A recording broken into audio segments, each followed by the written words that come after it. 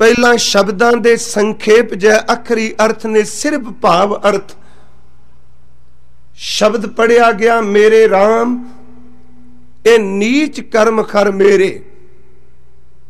ਯਾਦ ਰੱਖਿਓ, ਇਹ ਜਿਹੜੇ ਸ਼ਬਦ ਪੜੇ ਗਏ ਨੇ, ਇਹ ਮੈਲੇ ਖਿਰਦਿਆਂ ਵਿੱਚੋਂ ਨਿਕਲੇ ਕੋਈ ਸ਼ਬਦ ਨਹੀਂ। ਸ਼ਬਦਾਂ ਦੇ ਅੱਖਰਾਂ ਵਿੱਚ ਭਾਵੇਂ ਪ੍ਰਤੀਤ ਹੁੰਦਾ ਵੀ ਮੇਰੇ ਇਹ ਨੀਚ ਕਰਮ ਨੇ। ਪਰ ਇਹ ਸ਼ਬਦ ਕੇਵਲ ਉਹਨਾਂ ਖਿਰਦਿਆਂ ਵਿੱਚੋਂ ਨਿਕਲਦੇ ਨੇ ਜਿਹੜੇ ਖਿਰਦੇ ਨਿਰਮਲ ਹੋ ਜਾਂਦੇ ਨੇ। ਮੈਲਾ ਖਿਰਦਾ ਕਦੀ ਸਵਕਾਰ ਨਹੀਂ ਕਰਦਾ ਕਿ ਮੈਂ ਮੈਲਾ ਵਾਂ। ਜਿਉਂ-ਜਿਉਂ ਕੋਈ ਸਿਮਰਨ ਵਿੱਚ, ਬਾਣੀ ਵਿੱਚ ਜੁੜਦਾ ਅੰਦਰ ਦੀ ਨਿਰਮਲਤਾ ਹੀ ਆਉਂਦੀ ਏ। ਤਿਉਂ-ਤਿਉਂ ਆਪਣੇ ਗਿਰਵਾਨ ਵਿੱਚ ਝਾਤੀ ਮਾਰ ਕੇ ਦੇਖਦਾ ਮੈਂ ਆਪਣੀ ਜ਼ਿੰਦਗੀ ਵਿੱਚ ਕੀ ਹੋ ਕਰਮ ਕੀਤੇ ਨੇ। ਮੈਲੇ ਪਾਣੀ ਨੂੰ ਤੁਸੀਂ ਦੇਖੋ ਉਹਦੇ ਵਿੱਚੋਂ ਕਦੀ ਵੀ ਉਹਦਾ ਤੱਲਾ ਮੈਲੇ ਪਾਣੀ ਦੀ ਤੈ ਨਜ਼ਰ ਨਹੀਂ ਆਵੇਗੀ, ਜ਼ਮੀਨ ਦਾ ਤਲ ਨਹੀਂ ਦਿਸੇਗਾ। ਤੇ ਇਹ ਵੀ ਨਹੀਂ ਸਮਝ ਪਾਏਗੀ ਇਸ ਮੈਲੇ ਪਾਣੀ ਦੇ ਥੱਲੇ ਕੀ ਕੁਝ ਹੈ ਜੋ ਪਾਣੀ ਵਿੱਚ ਡੁੱਬਾ ਹੈ। ਕਦੀ ਤੁਸੀਂ ਦੇਖੋ ਖਾਲ ਵਿੱਚ ਮੈਲਾ ਪਾਣੀ ਜਾਏ ਸੇ ਪਿੰਡਾਂ ਵਿੱਚ ਪਾਣੀ ਲਾਣੇ ਆ ਜਦੋਂ ਨਗਾਲ ਕਿਤੇ ਨਹਿਰ ਦੇ ਪਾਣੀ ਦਾ ਖੇਤ ਤੱਕ ਜਾਂਦਾ ਤੇ ਮੈਲੇ ਪਾਣੀ ਦੀ ਤਹਿ ਵਿੱਚ ਜੋ ਕੁਝ ਵੀ ਪਿਆ ਹੈ, ਜੰਮਿਆ, ਉਹ ਕਦੀ ਵੀ ਦਿਸਦਾ ਨਹੀਂ। ਪਰ ਜਿਉਂ-ਜਿਉਂ ਪਾਣੀ ਨਿਰਮਲ ਹੋਣ ਲੱਗਦਾ ਹੈ ਤਿਉਂ-ਤਿਉਂ ਧਰਤੀ ਦੀ ਤਹਿ ਵਿੱਚੋਂ ਦਿਸਣ ਲੱਗ ਪੈਂਦਾ ਇਸ ਪਾਣੀ ਦੇ ਵਿੱਚ ਕੀ ਕੁਝ ਡੁੱਬਾ ਹੋਇਆ ਹੈ।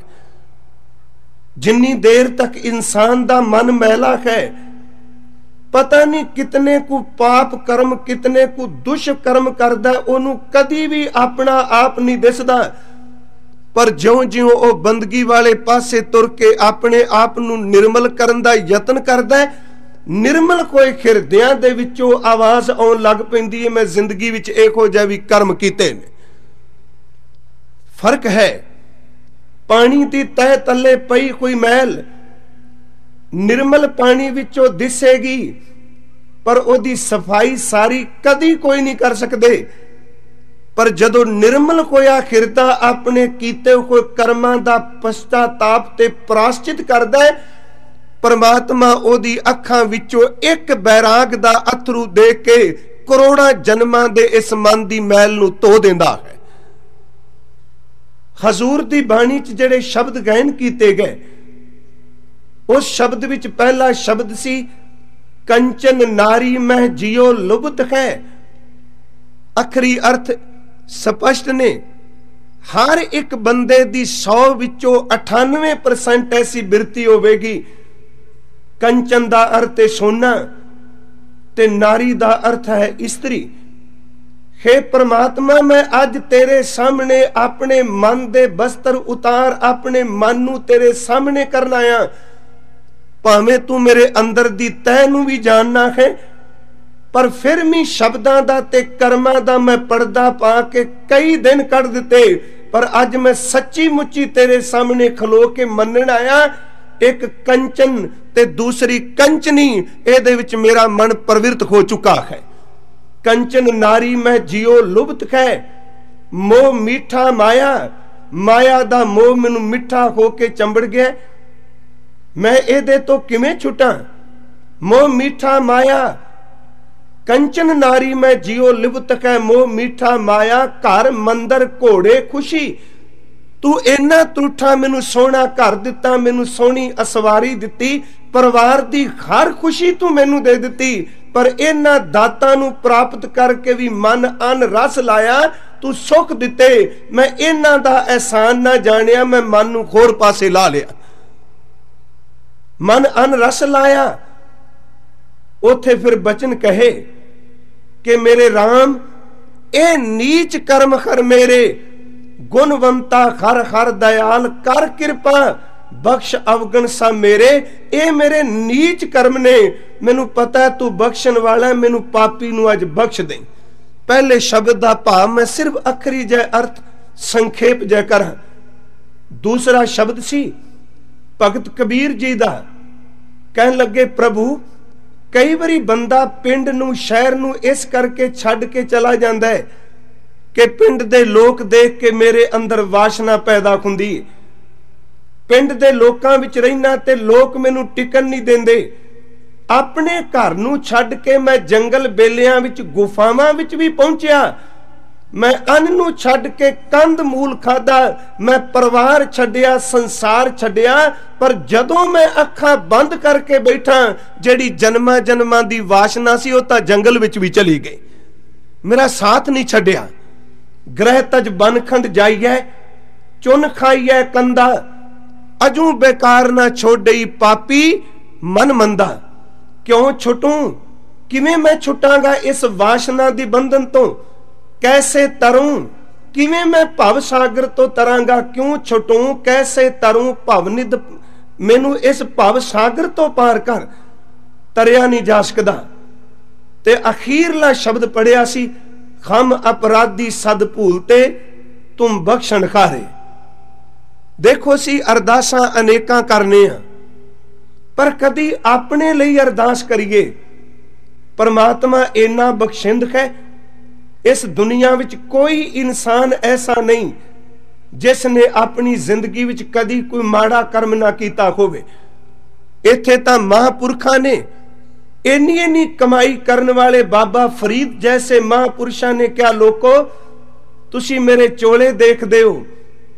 ਤੁਸੀਂ ਮੇਰੇ ਕੱਪੜੇ ਤੇ ਮੇਰੀ ਜ਼ਬਾਨ ਨੂੰ ਦੇਖ ਕੇ ਕਹਿੰਦੇ ਹੋ, ਮੈਂ ਪਹੁੰਚਿਆ ਹੋਇਆ ਫਕੀਰ ਖਾਂ। ਪਰ ਸ਼ਾਇਦ ਤੁਹਾਨੂੰ ਪਤਾ ਨਹੀਂ ਇਹਨਾਂ ਕੱਪੜਿਆਂ ਦੇ ਥੱਲੇ ਮੇਰੇ ਮਨ ਦੀ ਕਾਲਖ ਵੀ ਲੁਕੀ ਹੋਈ ਹੈ। ਉਹਨਾਂ ਅਰਦਾਸ ਵੀ ਸ਼ਬਦ ਕਹੇ, ਕਾਲੇ ਮਹਿੰਡੇ ਕੱਪੜੇ, ਕਾਲਾ ਮਹਿੰਡਾ ਵੇਸ਼, ਗੁਨਾਹੀ ਫਿਰਿਆ ਭਰਿਆ ਮੈਂ ਫਿਰਾਂ। ਲੋਕ ਕਹਿਣ, ਦਰਵੇਸ਼, ਮੈਂ ਔਗਣਾ ਨਾਲ ਭਰਿਆ ਵਾਂ, ਪਰ ਲੋਕ ਮੈਨੂੰ ਦਰਵੇਸ਼ ਪੈ ਕਹਿੰਦੇ ਨੇ, ਪਰਮਾਤਮਾ ਸਾਹਮਣੇ ਅਰਦਾਸ ਪੈ ਕਰਦੇ ਨੇ। ਫਿਰ ਜੋ ਅਸੀਂ ਕਰਮ ਕਰ ਰਹੇ ਹਾਂ। ਕੀ ਇਹ ਸਾਡੇ ਕਰਮ ਅੱਗੇ ਨਾਲ ਨਹੀਂ ਤੁਰਨੇ? ਅੱਜ ਸ਼ਾਮ 7 ਵਜੇ ਤੋਂ ਲੈ ਕੇ ਤਕਰੀਬਨ 6 6:30 ਤੋਂ ਲੈ ਕੇ ਇਸ ਵੇਲੇ ਤੱਕ ਆਪ ਜੀ ਇੰਨੇ ਟੇਕ ਕੇ ਬੈਠੇ ਹੋ। ਪਿਆਰਿਓ, ਯਾਦ ਰੱਖੋ, ਦੁਨੀਆ ਵਿੱਚ ਰਹਿੰਦਿਆਂ ਪਤਾ ਨਹੀਂ ਕਈ ਕਈ ਸਾਲ ਕਿੰਨੇ ਕਿੰਨੇ ਕਰਮ ਕੀਤੇ ਕੋਣੇ ਨੇ। ਉਹ ਕਰਮ ਫਾਈ ਬਣੇ ਕੋਣੇਗੇ ਤੇ ਅੱਜ ਜਿਹੜੇ 5-6 ਘੰਟੇ ਤੁਸੀਂ ਖਰੀ ਜਸ ਦਾ ਕਰਮ ਕਮਾ ਲਿਆ ਹੈ, ਇਹ ਕਰੋਨਾ ਜਨਮਾਂ ਦੀਆਂ ਫਾਈ ਕੱਟਣ ਦੀ ਸਮਰੱਥਾ ਰੱਖਦਾ ਹੈ। ਇਹਨੂੰ ਸੱਟ ਨਾ ਪਾਈਏ। ਕਿਉਂਕਿ ਕਰਮ ਸਾਨੂੰ ਵਿਛੋੜਦੇ ਨੇ। ਕਰਮਾ ਕਰਕੇ ਸਜ਼ਾ ਵੀ ਮਿਲਦੀ ਹੈ ਅਸੀਂ ਖਜ਼ੂਰ ਦਾ ਇਹ ਬਚਨ ਪੜ੍ਹਨੇ ਆ ਕਿ ਕਰਮੀ ਆਪੋ ਆਪਣੀ ਕੇ ਨੇੜੇ, ਕੇ ਦੂਰ। ਗੁਰੂ ਜੀ ਨੇ ਕਿਹਾ, ਦੱਦਾ ਦੋਸ਼ ਨਾ ਦੇਉ ਕਿਸੈ। ਦੋਸ਼ ਕਰਮਾ ਆਪਣਿਆਂ। ਜੋ ਮੈਂ ਕੀਆ, ਸੋ ਮੈਂ ਪਾਇਆ, ਦੋਸ਼ ਨਾ ਦੀਜੈ।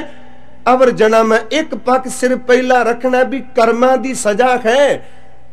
ਜੋ ਕੁਝ ਅਸੀਂ ਕਰ ਰਹੇ ਹਾਂ, ਪਰ ਕੀਰਤਨ ਸਤ ਸੰਗਤ ਤੇ ਬਾਣੀ ਐਸੀ ਹੈ ਗੁਰੂ ਦਾ ਸ਼ਬਦ ਐਸਾ ਹੈ, ਜਿਹੜਾ ਕਰੋੜਾਂ ਜਨਮਾਂ ਦੇ ਕੀਤੇ ਕੋਈ ਕਰਮ ਵੀ ਕੱਟ ਦਿੰਦਾ ਹੈ।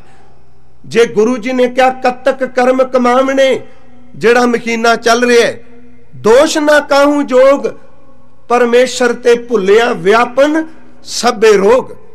ਬਾਬਾ ਜੀ ਨੇ ਬਾਣੀ ਵਿੱਚ ਕਿਹਾ ਕਹਿ ਲੱਗੇ, ਫਰੀਦਾ ਜਿੰਨੀ ਕਮੀ ਨਾਹੇ ਗੁਣ, ਜਿੰਨਾ ਕੰਮਾਂ ਵਿੱਚੋਂ ਬੰਦਗੀ ਵਾਲਾ ਗੁਣ ਨਹੀਂ ਮਿਲਦਾ ਪਿਆ, ਤੇ ਕਮੜੇ ਵਿਸਾਰ, ਜੇ ਕਰਮ ਕਰੀ ਗਿਓ ਮਾੜੇ, ਮਤ ਸ਼ਰਮਿੰਦਾ ਥੀ ਸਾਈਂ ਦੇ ਦਰਬਾਰ। ਫਿਰ ਉਹਨਾਂ ਨੇ ਕਰਮ ਫਿਲਾਸਫੀ ਤੇ ਬੋਲਦੇ ਆ ਬੜੀ ਸੋਹਣੀ ਇੱਕ ਸਾਡੀ ਪਿੰਡੂ ਜੀ ਉਦਾਹਰਨ ਦਿੱਤੀ। ਕੋਈ ਗੁੰਝਲ ਨਹੀਂ ਪਾਈ। ਅਸੀਂ ਫਸਲ ਬੀਜਨੇ ਆ। ਕੁਝ ਸੱਜਣ ਝੋਨਾ, ਕੋਈ ਕਣਕ, ਕੋਈ ਛੋਲਿਆਂ ਦੀ, ਕੋਈ ਬਾਜਰੇ ਦੀ, ਕੋਈ ਮੱਕੀ ਦੀ, ਕੋਈ ਸਰਸੋਂ ਦੀ, ਸਰੋਂ ਦੀ ਫਸਲ ਬੀਜਦਾ ਧਰਤੀ ਦਾ ਸੁਭਾਅ ਹੈ ਕਿ ਜੋ ਕੁਝ ਅਸੀਂ ਧਰਤੀ ਵਿੱਚ ਪਾਇਆ, ਉਹਨੇ ਉਹ ਕੁਝ ਹੀ ਸਾਡੀ ਝੋਲੀ 'ਚ ਪਾ ਦੇਣਾ ਹੈ। ਧਰਤੀ ਧਰਮਸ਼ਾਲਾ ਮੰਨਿਆ ਗਿਆ ਤੇ ਧਰਮਸ਼ਾਲਾ ਦਾ ਅਰਥ ਹੈ ਜਿੱਥੇ ਇਨਸਾਫ ਹੋਵੇ ਧਰਤੀ ਦੇ ਵਿੱਚ ਜੇ ਬਾਬਾ ਫਰੀਦ ਜੀ ਕਹਿੰਦੇ ਨੇ, ਬੀਜ ਤਾਂ ਕਿੱਕਰ ਦੇ ਬੀਜ ਕੇ ਆਏ ਆ ਪਰ ਆਸੇ ਰੱਖਣਾ ਵੀ ਇਹਦੇ ਵਿੱਚੋਂ ਅੰਗੂਰਾਂ ਦੀਆਂ ਵੇਲਾਂ, ਇਹਦੇ ਵਿੱਚੋਂ ਅਨਾਰ ਦੇ ਫਲ, ਇਹਦੇ ਵਿੱਚੋਂ ਮਿੱਠੇ ਫਲ ਪੈਦਾ ਹੋਣਗੇ। ਬੀਜ ਪਾਉਂਦਿਆਂ ਕਈ ਵਾਰੀ ਮਿੱਟੀ ਥੱਲੇ ਢੱਕੇ ਕੋਈ ਬੀਜ ਨਾਲ ਲੋਕ ਭਰੋਸਾ ਕਰਨਗੇ, ਇਹਨੇ ਮਿੱਠੇ ਫਲ ਬੀਜੇ ਨੇ, ਪਰ ਚੇਤੇ ਰੱਖੀ ਧਰਤੀ ਧਰਮਸ਼ਾਲਾ ਹੈ। ਉਹਨੇ ਇਸ ਬੀਜ ਨੂੰ ਧਰਤੀ ਵਿੱਚੋਂ ਬਾਹਰ ਕੱਢਣਾ ਜੇ ਕਿੱਕਰ ਬੀਜੇ ਨੇ ਤੇ ਕੰਡੇ ਚੁੱਭਣਗੇ, ਕਿੱਕਰ ਵਿੱਚੋਂ ਕਦੀ ਦਾਖਾਂ ਦੇ ਫਲ ਨਹੀਂ ਮਿਲਦੇ ਹੁੰਦੇ। ਜਿਹੋ ਜੇ ਕਰਮ ਕੀਤੇ ਉਹ ਮਿਲਣਗੇ। ਮੈਂ ਇੱਥੇ ਕੁਝ ਬੇਨਤੀਆਂ ਕਰਮਾਂ ਸੰਬੰਧੀ ਕਰਨੀਆਂ ਨੇ, ਕਿਉਂਕਿ ਗੁਰਮਤ ਨੇ ਕਿ ਸਾਨੂੰ ਬੜੀ ਵੱਡੀ ਦਾਤ ਦਿੱਤੀ ਏ। ਜੇ ਕਰਮ ਖੈਨ ਤੇ ਬੰਦਗੀ ਕਰੋ ਤੇ ਕਰਮ ਸੜ ਵੀ ਜਾਂਦੇ ਨੇ। ਜੇ ਸੂਲੀ ਭਾਗਾਂ 'ਚ ਲਿਖੀ ਹੈ ਸੰਗਤ ਕੋਈ ਕਰੇ ਤੇ ਚੇਤੇ ਰੱਖੋ, ਸੂਲ ਵੀ ਬਣ ਜਾਂਦੀ ਹੈ। ਜੇ ਕਰੋੜਾਂ ਜਨਮਾਂ ਦਾ ਵਿਛੋੜਾ ਕਰਮਾਂ 'ਚ ਲਿਖਿਆ ਹੈ, ਗੁਰੂ ਦੇ ਸ਼ਬਦ ਤੇ ਕੀਰਤਨ ਵਿੱਚ ਆਪਣੇ ਆਪ ਨੂੰ ਕੋਈ ਜੋੜੇ, ਕਰੋੜਾਂ ਜਨਮਾਂ ਦਾ ਵਿਛੋੜਾ ਇੱਕ ਖਿੰਨ ਦੇ ਵਿੱਚ ਸੁਪਨੇ ਵਿੱਚ ਵੀ ਮਿਲ ਸਕਦਾ ਹੈ। ਕਰਮ ਤਾਂ ਸੁਪਨੇ ਵਿੱਚ ਵੀ ਸ਼ਬਦ ਕੱਟ ਦਿੰਦਾ ਹੈ। ਬਾਬਾ ਫਰੀਦ ਜੀ ਨੇ ਕਿਹਾ, ਬੀਜਿਆ ਕਿਕਰ ਤੇ ਮੰਗਨੇ ਦਾਖਾਂ ਕਤਨੇ ਸਾਰੀ ਜ਼ਿੰਦਗੀ ਕਪਾਹ ਬੀਜ ਕੇ ਉਨ ਤੂੰ, ਸੂਤ ਕਤਨਾ ਪਏ ਤੇ ਮੰਗਣਾ ਪਾਨ ਨੂੰ ਰੇਸ਼ਮੇ।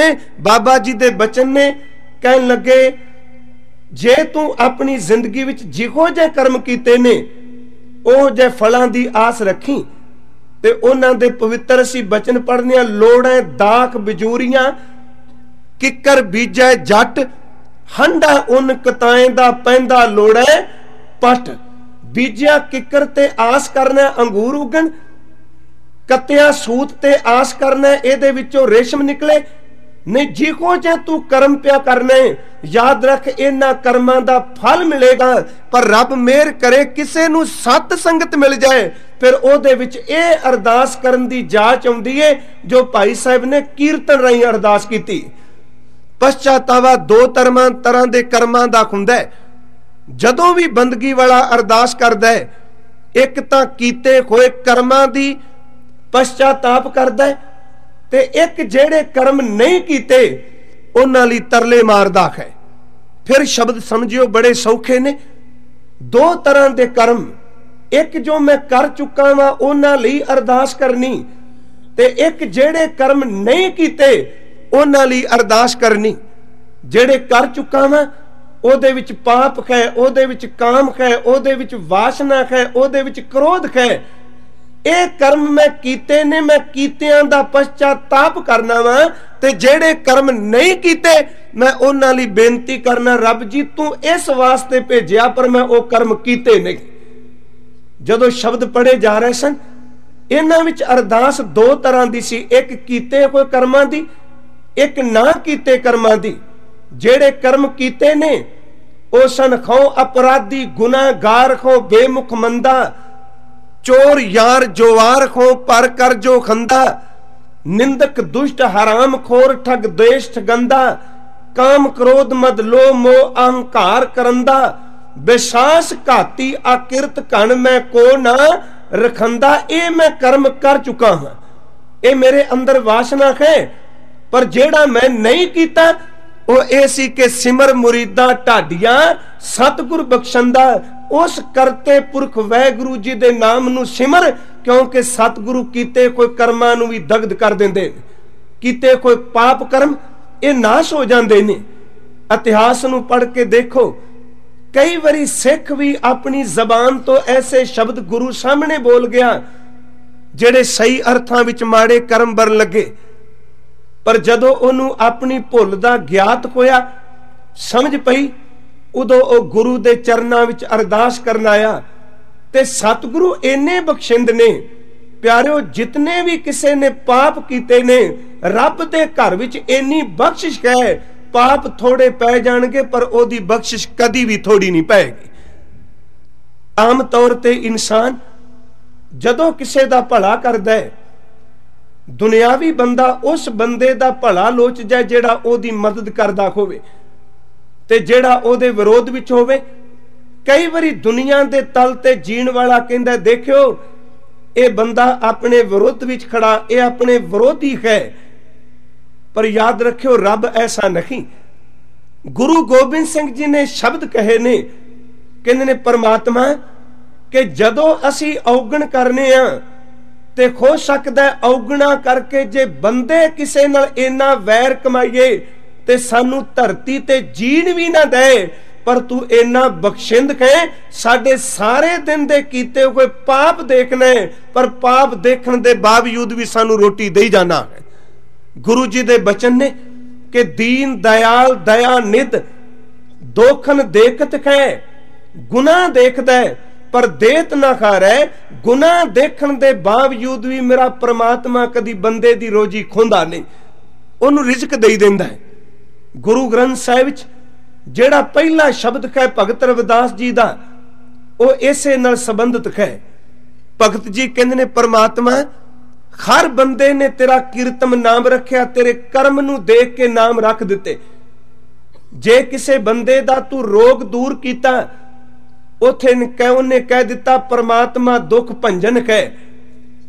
ਜੇ ਕਿਸੇ ਬੰਦੇ ਨੂੰ ਗਰੀਬੀ ਤੋਂ ਮੁਕਤ ਕਰਕੇ ਤਨਾੜ ਬਣਾਇਆ, ਉਹਨੇ ਦੁਨੀਆ ਵਿੱਚ ਪ੍ਰਚਾਰ ਕੀਤਾ, ਪਰਮਾਤਮਾ ਗਰੀਬ ਨਿਵਾਜ ਹੈ ਜੇ ਕਿਸੇ ਬੰਦੇ ਨੂੰ ਪਤਾ ਲੱਗਾ ਵੀ ਇਸ ਧਰਤੀ ਦਾ ਓਟ ਸਹਾਰਾ ਰੱਬ ਹੈ ਉਹਨੇ ਕਹਿ ਦਿੱਤਾ, ਪਰਮਾਤਮਾ ਗੋਬਿੰਦ ਹੈ ਉਹ ਧਰਤੀ ਨੂੰ ਸਹਾਰਾ ਦੇ ਰਿਹਾ ਜੇ ਕਿਸੇ ਨੂੰ ਪਤਾ ਲੱਗਾ ਵੀ ਪਰਮਾਤਮਾ ਸਾਰੇ ਜੀਵ ਪੈਦਾ ਕਰਕੇ ਰੋਜ਼ੀ ਦਿੰਦਾ ਹੈ, ਉਹਨੇ ਕਹਿ ਦਿੱਤਾ, ਤੂੰ 84 ਦਾ ਰਿਜ਼ਕ ਦਾਤਾ ਹੈ। ਬਾਕੀ ਸਾਰੇ ਨਾਮ ਤਾਂ ਤੇਰੀ ਕਿਰਪਾਲਤਾ ਕਰਕੇ ਨੇ। ਪਰ ਇੱਕ ਨਾਮ ਅਸੀਂ ਤੈਨੂੰ ਦਿੱਤਾ, ਉਹ ਕੀ? ਪਤਾ ਨਹੀਂ ਕਿਤਨਾ ਕੁ ਵੱਡਾ ਪਰਮਾਤਮਾ ਉੱਤੇ ਭਰੋਸਾ ਕਰਕੇ ਸ਼ਬਦ ਕਿਹਾ, ਪ੍ਰਭੂ ਜੀ, ਕਿ ਜੇ ਅਸੀਂ ਪਾਪ ਨਾ ਕਰਦੇ ਤੇ ਮੇਰੇ ਵਹਿਗੁਰੂ ਤੈਨੂੰ ਪਤਤ ਪਾਵਨ ਕੌਣ ਕਹਿੰਦਾ? ਅਸੀਂ ਪਾਪ ਕੀਤੇ, ਤੂੰ ਆਪਣੇ ਘਰੋਂ ਬਖਸ਼ਿਸ਼ ਕਰਕੇ ਪਾਪੀਆਂ ਨੂੰ ਪਵਿੱਤਰ ਕੀਤਾ ਤੇ ਉਸ ਦਿਨ ਤੋਂ ਬਾਅਦ ਲੋਕ ਤੈਨੂੰ ਪਤਤ ਪਾਵਨ ਕਹਿਣ ਲੱਗ ਪਏ। ਹੁਣ ਉਸ ਭਗਤ ਦੀ ਦੇਖੋ ਅੰਦਰ ਦੀ ਸੋਚ। ਪਹਿਲਾ ਸ਼ਬਦ ਹੈ ਤੋਹੀ ਮੋਹੀ ਮੋਹੀ ਤੋਹੀ, ਅੰਤਰ ਕੈਸਾ? ਤੇਰੇ ਤੇ ਮੇਰੇ ਵਿੱਚ ਕੀ ਫ਼ਰਕ? ਆਪਾਂ ਦੋਨੋਂ ਇੱਕ ਹਾਂ। ਤੋਹੀ ਮੋਹੀ ਮੋਹੀ ਤੋਹੀ, ਅੰਤਰ ਕੈਸਾ?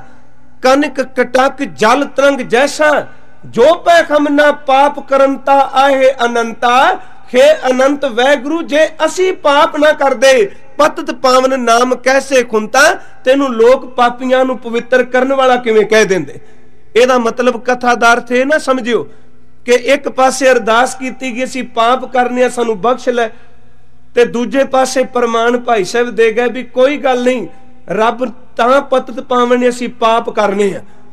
ਭਾਈ ਗੁਰਦਾਸ ਜੀ ਨੇ ਇੱਕ ਸ਼ਬਦ ਕਿਹਾ ਉਹ ਕਹਿੰਦੇ ਨੇ, ਕੋਈ ਪਿੰਡੂ ਬੰਦਾ ਦੌੜ ਕੇ ਖਜ਼ੂਰ ਉੱਤੇ ਚੜਿਆ ਤੇ ਅਖੀਰ ਸ਼ਿਖਰ ਤੇ ਪਹੁੰਚ ਕੇ ਪੈਰ ਫਿਸਲਿਆ ਤੇ ਜ਼ਮੀਨ ਤੇ ਡਿੱਗਾ ਬਿਲਕੁਲ ਤੰਦਰੁਸਤ ਸੀ। ਕੋਈ ਖੱਤ ਪੈਰ ਨਹੀਂ ਟੁੱਟਾ।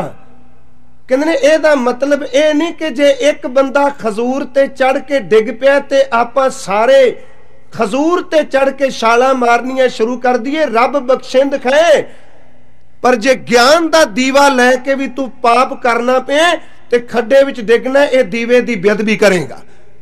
ਜੇ ਤੈਨੂੰ ਪਤਾ ਵੀ ਕਰਮਾਂ ਦਾ ਲੇਖਾ ਕੋਣੇ ਪਰਮਾਤਮਾ ਨੇ ਲੇਖਾ ਲੈਣੇ ਫਿਰ ਜਾਣ ਬੂਝ ਕੇ ਬਾਵਰੇ ਤੈ ਕਾਜ ਬਿਗਾਰਿਓ ਮਨ ਜਾਣੈ ਸਭ ਬਾਤ, ਜਾਣਤ ਕੀ ਔਗਨ ਕਰੈ ਕਾਇ ਕੀ ਕੁਸਲਾਤ, ਹਾਥ ਦੀਪ ਕੂਏ ਪਰੇ ਇਹ ਕਾਦੀ ਸਿਆਣਪ, ਹੱਥ ਵੀ ਦੀਵਾ ਪਕੜ ਕੇ ਫਿਰ ਤੂੰ ਛਾਲ ਮਾਰੀ ਜਾ ਰਿਹਾ ਹੈ। ਅੱਜ ਸੱਚ ਜਾਣੋ, ਅਸੀਂ ਇਹ ਕੁਝ ਦੇਖਨੇ ਆ। ਆ ਨਸ਼ੇ ਦੀ ਗੱਲ ਕੀਤੀ ਸਿੰਘ ਸਾਹਿਬ ਜੀ ਨੇ। ਆਪਣੇ ਘਰਾਂ 'ਚ ਕੀ ਹੈ? ਬਹੁਤ ਵਿਰਲੇ ਘਰ ਨੇ, ਜਿਨ੍ਹਾਂ ਘਰਾਂ ਵਿੱਚ ਪ੍ਰਮਾਤਮਾ ਦੀ ਬੰਦਗੀ ਦੀ ਗੂੰਜ ਹੈ। ਨਹੀਂ ਤੇ ਨਿੱਕੇ ਨਿੱਕੇ ਨਿਆਣੇ ਨੇ ਉਹਨਾਂ ਦੀਆਂ ਅੱਖਾਂ ਦੇ ਅਥਰੂ ਨਹੀਂ ਸੁੱਕਦੇ। ਲੋਕ ਪੀਐਚ ਡੀ ਕੀਤੀ ਕੋਈ ਇੰਨੇ ਪੜ੍ਹੇ ਲਿਖੇ ਲੋਕ ਜਿਸ ਨਸ਼ੇ ਨੂੰ ਬੋਤਲ ਵਿੱਚੋਂ ਕੱਢ ਕੇ ਪੀਂਦੇ ਨੇ, ਲਿਖ ਕੇ ਉੱਥੇ ਵੀ ਲਾਇਆ ਕਿ ਸਿਆਣੇ ਬੰਦਿਆ ਪੜ ਨਹੀਂ ਸਿਹਤ ਲਈ ਹਾਨੀਕਾਰਕ ਹੈ। ਉਹ ਪੜਨ ਦੇ ਬਾਵਜੂਦ ਵੀ ਪੀ ਜਾਂਦਾ ਹੈ, ਇਹਦਾ ਮਤਲਬ ਦੀਵਾ ਪਕੜ ਕੇ ਖੱਡ ਵੀ ਛਾਲ ਮਾਰਨ ਤੁਰਿਆ ਹੈ। ਸਮਝ ਖੈ ਲਿਖਿਆ ਵੀ ਇਹ ਵੀ ਨਾ ਪੀਵੀਂ। ਇਸ ਪਾਸੇ ਨਾ ਤੁਰੀ। ਪਰ ਦੀਵਾ ਪਕੜ ਕੇ ਵੀ ਛਾਲ ਮਾਰਨ ਤੁਰ ਪਿਆ। ਪਰਮਾਤਮਾ ਬਖਸ਼ਿੰਦ ਕਹੇ, ਜਦੋਂ ਕੋਈ ਜੀਵ ਅੰਦਰੋਂ ਨਿਰਮਲਤਾ ਹੀ ਲੈ ਕੇ ਬੇਨਤੀ ਕਰਦਾ ਹੈ, ਤੇ ਪਰਮਾਤਮਾ ਉਹਦੇ ਕੀਤੇ ਕੋਈ ਗੁਨਾਹ ਬਖਸ਼ਦਾ ਹੈ। ਇੱਕ ਉਦਾਹਰਨ ਮੈਂ ਗੁਰੂ ਇਤਿਹਾਸ ਵਿੱਚੋਂ ਆਪ ਨਾਲ ਸਾਂਝੀ ਕਰਨੀ ਹੈ ਕਿ ਧੰਨ ਗੁਰੂ ਗੋਬਿੰਦ ਸਿੰਘ ਸਾਹਿਬ ਸੱਚੇ ਪਾਤਸ਼ਾਹ, ਉਹਨਾਂ ਦੇ ਪਾਵਨ ਪਵਿੱਤਰ ਦਰਬਾਰ ਵਿੱਚ ਇੱਕ ਸਿੱਖ ਆਇਆ। ਉਸ ਦਾ ਨਾਮ ਸੀ ਭਾਈ ਲਾਲ ਸਿੰਘ ਜੀ। ਵਿਦਵਾਨ ਕਹਿੰਦੇ ਨੇ ਕਿ ਇਸ ਨੇ ਗੈਂਡੇ ਦੀ ਇੱਕ ਖਲ ਨਾਲ, ਗੈਂਡੇ ਦੇ ਚਮੜੇ ਦੀ ਬਣੀ ਹੋਈ ਇੱਕ ਕੀਮਤੀ ਢਾਲ ਲਿਆਂਦੀ। ਉਹ ਢਾਲ ਇਤਨੀ ਸੁੰਦਰ ਸੀ ਕਿ ਉਹਦੇ ਵਿੱਚੋਂ ਗੋਲੀ ਵੀ ਨਹੀਂ ਸੀ ਨਿਕਲ ਸਕਦੀ। ਮੈਂ ਸਿਰਫ ਬੇਨਤੀ ਕਰ ਲੱਗਾ, ਜੇ ਕਿਤੇ ਵੀ ਜ਼ਿੰਦਗੀ ਵਿੱਚ ਗੁਨਾਹ ਹੋਇਆ ਹੈ, ਜਾਣੇ ਜਾਂ ਅਣਜਾਣੇ, ਤੇ ਸੱਚੀ ਮੁੱਚੀ ਅਰਦਾਸ ਕਰੇ ਤੇ ਪ੍ਰਮਾਤਮਾ ਗੁਨਾਹਾਂ ਨੂੰ ਬਖਸ਼ਦਾ ਹੈ ਪਰ ਪਰਮਾਤਮਾ ਨੂੰ ਧੋਖਾ ਨਾ ਦੇਈ ਇੱਕ ਸਿਆਣੇ ਵਿਦਵਾਨ ਦਾ ਕਥਨ ਹੈ ਕਿ ਸ਼ਰਾਬ ਪੀਤੇ ਹੈ ਮੈਂ ਖਾਨੇ में चंदा देते हैं मस्जिद में शराब पीते हैं मैं खाने में ਉਰਦੂ ਦੇ ਸ਼ਬਦ ਨੇ ਮਸਜਿਦ ਦੀ ਅਗਰਾਈ ਲੱਗੀ ਮਸਜਿਦ ਬੰਨੀ ਹੈ ਗੁਰਦੁਆਰਾ ਬੰਨੇ ਉਥੋਂ ਸਭ ਤੋਂ ਵੱਧ ਚੰਦਾ ਆਪਣੇ ਵੱਲੋਂ ਦਿੱਤਾ ਗਿਆ ਤੇ ਜਦੋਂ ਸ਼ਰਾਬ ਦਾ ਲੇਖ ਹੋਇਆ ਸਭ ਤੋਂ ਵੱਧ ਆਪ ਪੀਤਾ ਚੰਦਾ ਦੇਤੇ ਹੈ ਮਸਜਿਦ में शराब पीते हैं मैं खाने में खुदा भी राजी रहे शैतान भी नाराज ना हो ਦੋਨੋਂ ਪੱਖ ਨਹੀਂ ਕਈ ਵਾਰੀ ਬੰਦਾ ਅਨਭੋਲ ਵਿੱਚ ਵੀ ਇਹੋ ਜਿਹੇ ਸ਼ਬਦ ਵਰਤ ਜਾਂਦਾ ਜਿਹੜੇ ਉਹਨੂੰ ਬੋਲਣੇ ਨਹੀਂ ਚਾਹੀਦੇ ਉਹ ਸਿੱਖ ਕੀਮਤੀ ਢਾਲ ਲੈ ਕੇ ਆਇਆ ਧੰਨ ਗੁਰੂ ਗੋਬਿੰਦ ਸਿੰਘ ਸਾਹਿਬ ਦੇ ਚਰਨਾਂ ਵਿੱਚ ਰੱਖ ਕੇ ਬੇਨਤੀ ਕੀਤੀ ਮਹਾਰਾਜ ਆ ਮੈਂ ਬੜੀ ਮੁਸ਼ਕਲ ਨਾਲ ਗੈਂਡੇ ਦੀ, ਚਮੜੀ ਦੀ, ਖੱਲ ਦੀ ਢਾਲ ਬਣਾ ਕੇ ਲਿਆਇਆ। ਤੇ ਬਣਾਉਣ ਵਾਲੇ ਨੇ ਦੱਸਿਆ, ਜਿਹੜੇ ਮੇਰੇ ਨਾਲ ਲੱਗੇ, ਇਹਦੇ ਵਿੱਚੋਂ ਗੋਲੀ ਕਦੀ ਨਹੀਂ ਨਿਕਲੇਗੀ। ਉਹਨੇ ਫਿਰ ਕਿਆ ਕਹਿਣ ਲੱਗਾ, ਮਹਾਰਾਜ, ਇਹੋ ਜੀ ਢਾਲ ਸ਼ਾਇਦ ਤੁਹਾਡੇ ਤੋਸ਼ੇ ਖਾਨੇ ਵਿੱਚ ਕਦੀ ਹੋਵੇ, ਇਸ ਢਾਲ ਵਿੱਚੋਂ ਗੋਲੀ ਨਹੀਂ ਨਿਕਲ ਸਕਦੀ। ਮਹਾਰਾਜ ਜੀ ਨੇ ਦੇਖਿਆ ਵੀ ਲੈ ਕੇ ਤਾਂ ਭੇਟਾ ਆਇਆ ਕਿਤੇ ਸੂਖਸ਼ਮ ਜੀ ਖੌਮੇ ਤੇ ਨਹੀਂ ਪੁੰਗਰਦੀ ਪਈ? ਕਿ ਤੁਹਾਡੇ ਘਰ ਵਿੱਚ ਇਹੋ ਜੀ ਢਾਲ ਕਦੀ ਨਹੀਂ? ਤੁਹਾਡੇ ਤੋਸ਼ੇਖਾਨੇ ਵਿੱਚ ਇਹੋ ਜਿਹੇ ਕੀਮਤੀ ਸ਼ਸਤਰ ਨਹੀਂ? ਯਾਦ ਰੱਖਿਓ, ਗੁਰੂ ਇੱਕ ਵੈਦ ਕਹੇ, ਜਦੋਂ ਦੇਖਦਾ ਕਿ ਮੇਰੇ ਦਰ ਤੇ ਆਏ ਹੋਏ ਕਿਸੇ ਬੰਦੇ ਅੰਦਰ ਸੂਖਸ਼ਮ ਜਾਂ ਸਥੂਲ ਖੋਮੇ, ਹੰਕਾਰ ਪੈਦਾ ਹੁੰਦਾ ਹੈ ਕਈ ਵਾਰੀ ਗੁਰੂ ਥੋੜਾ ਜਿਹਾ ਝਟਕਾ ਲਾ ਕੇ ਉਹਨੂੰ ਸਹੀ ਰਸਤੇ ਤੇ ਪਾ ਦਿੰਦਾ ਹੈ। ਹੋ ਜਾਂਦਾ ਹੈ। ਪਿਆਰਿਓ, ਇਹ ਇੰਨੀ ਸੂਖਸ਼ਮ ਹੈ।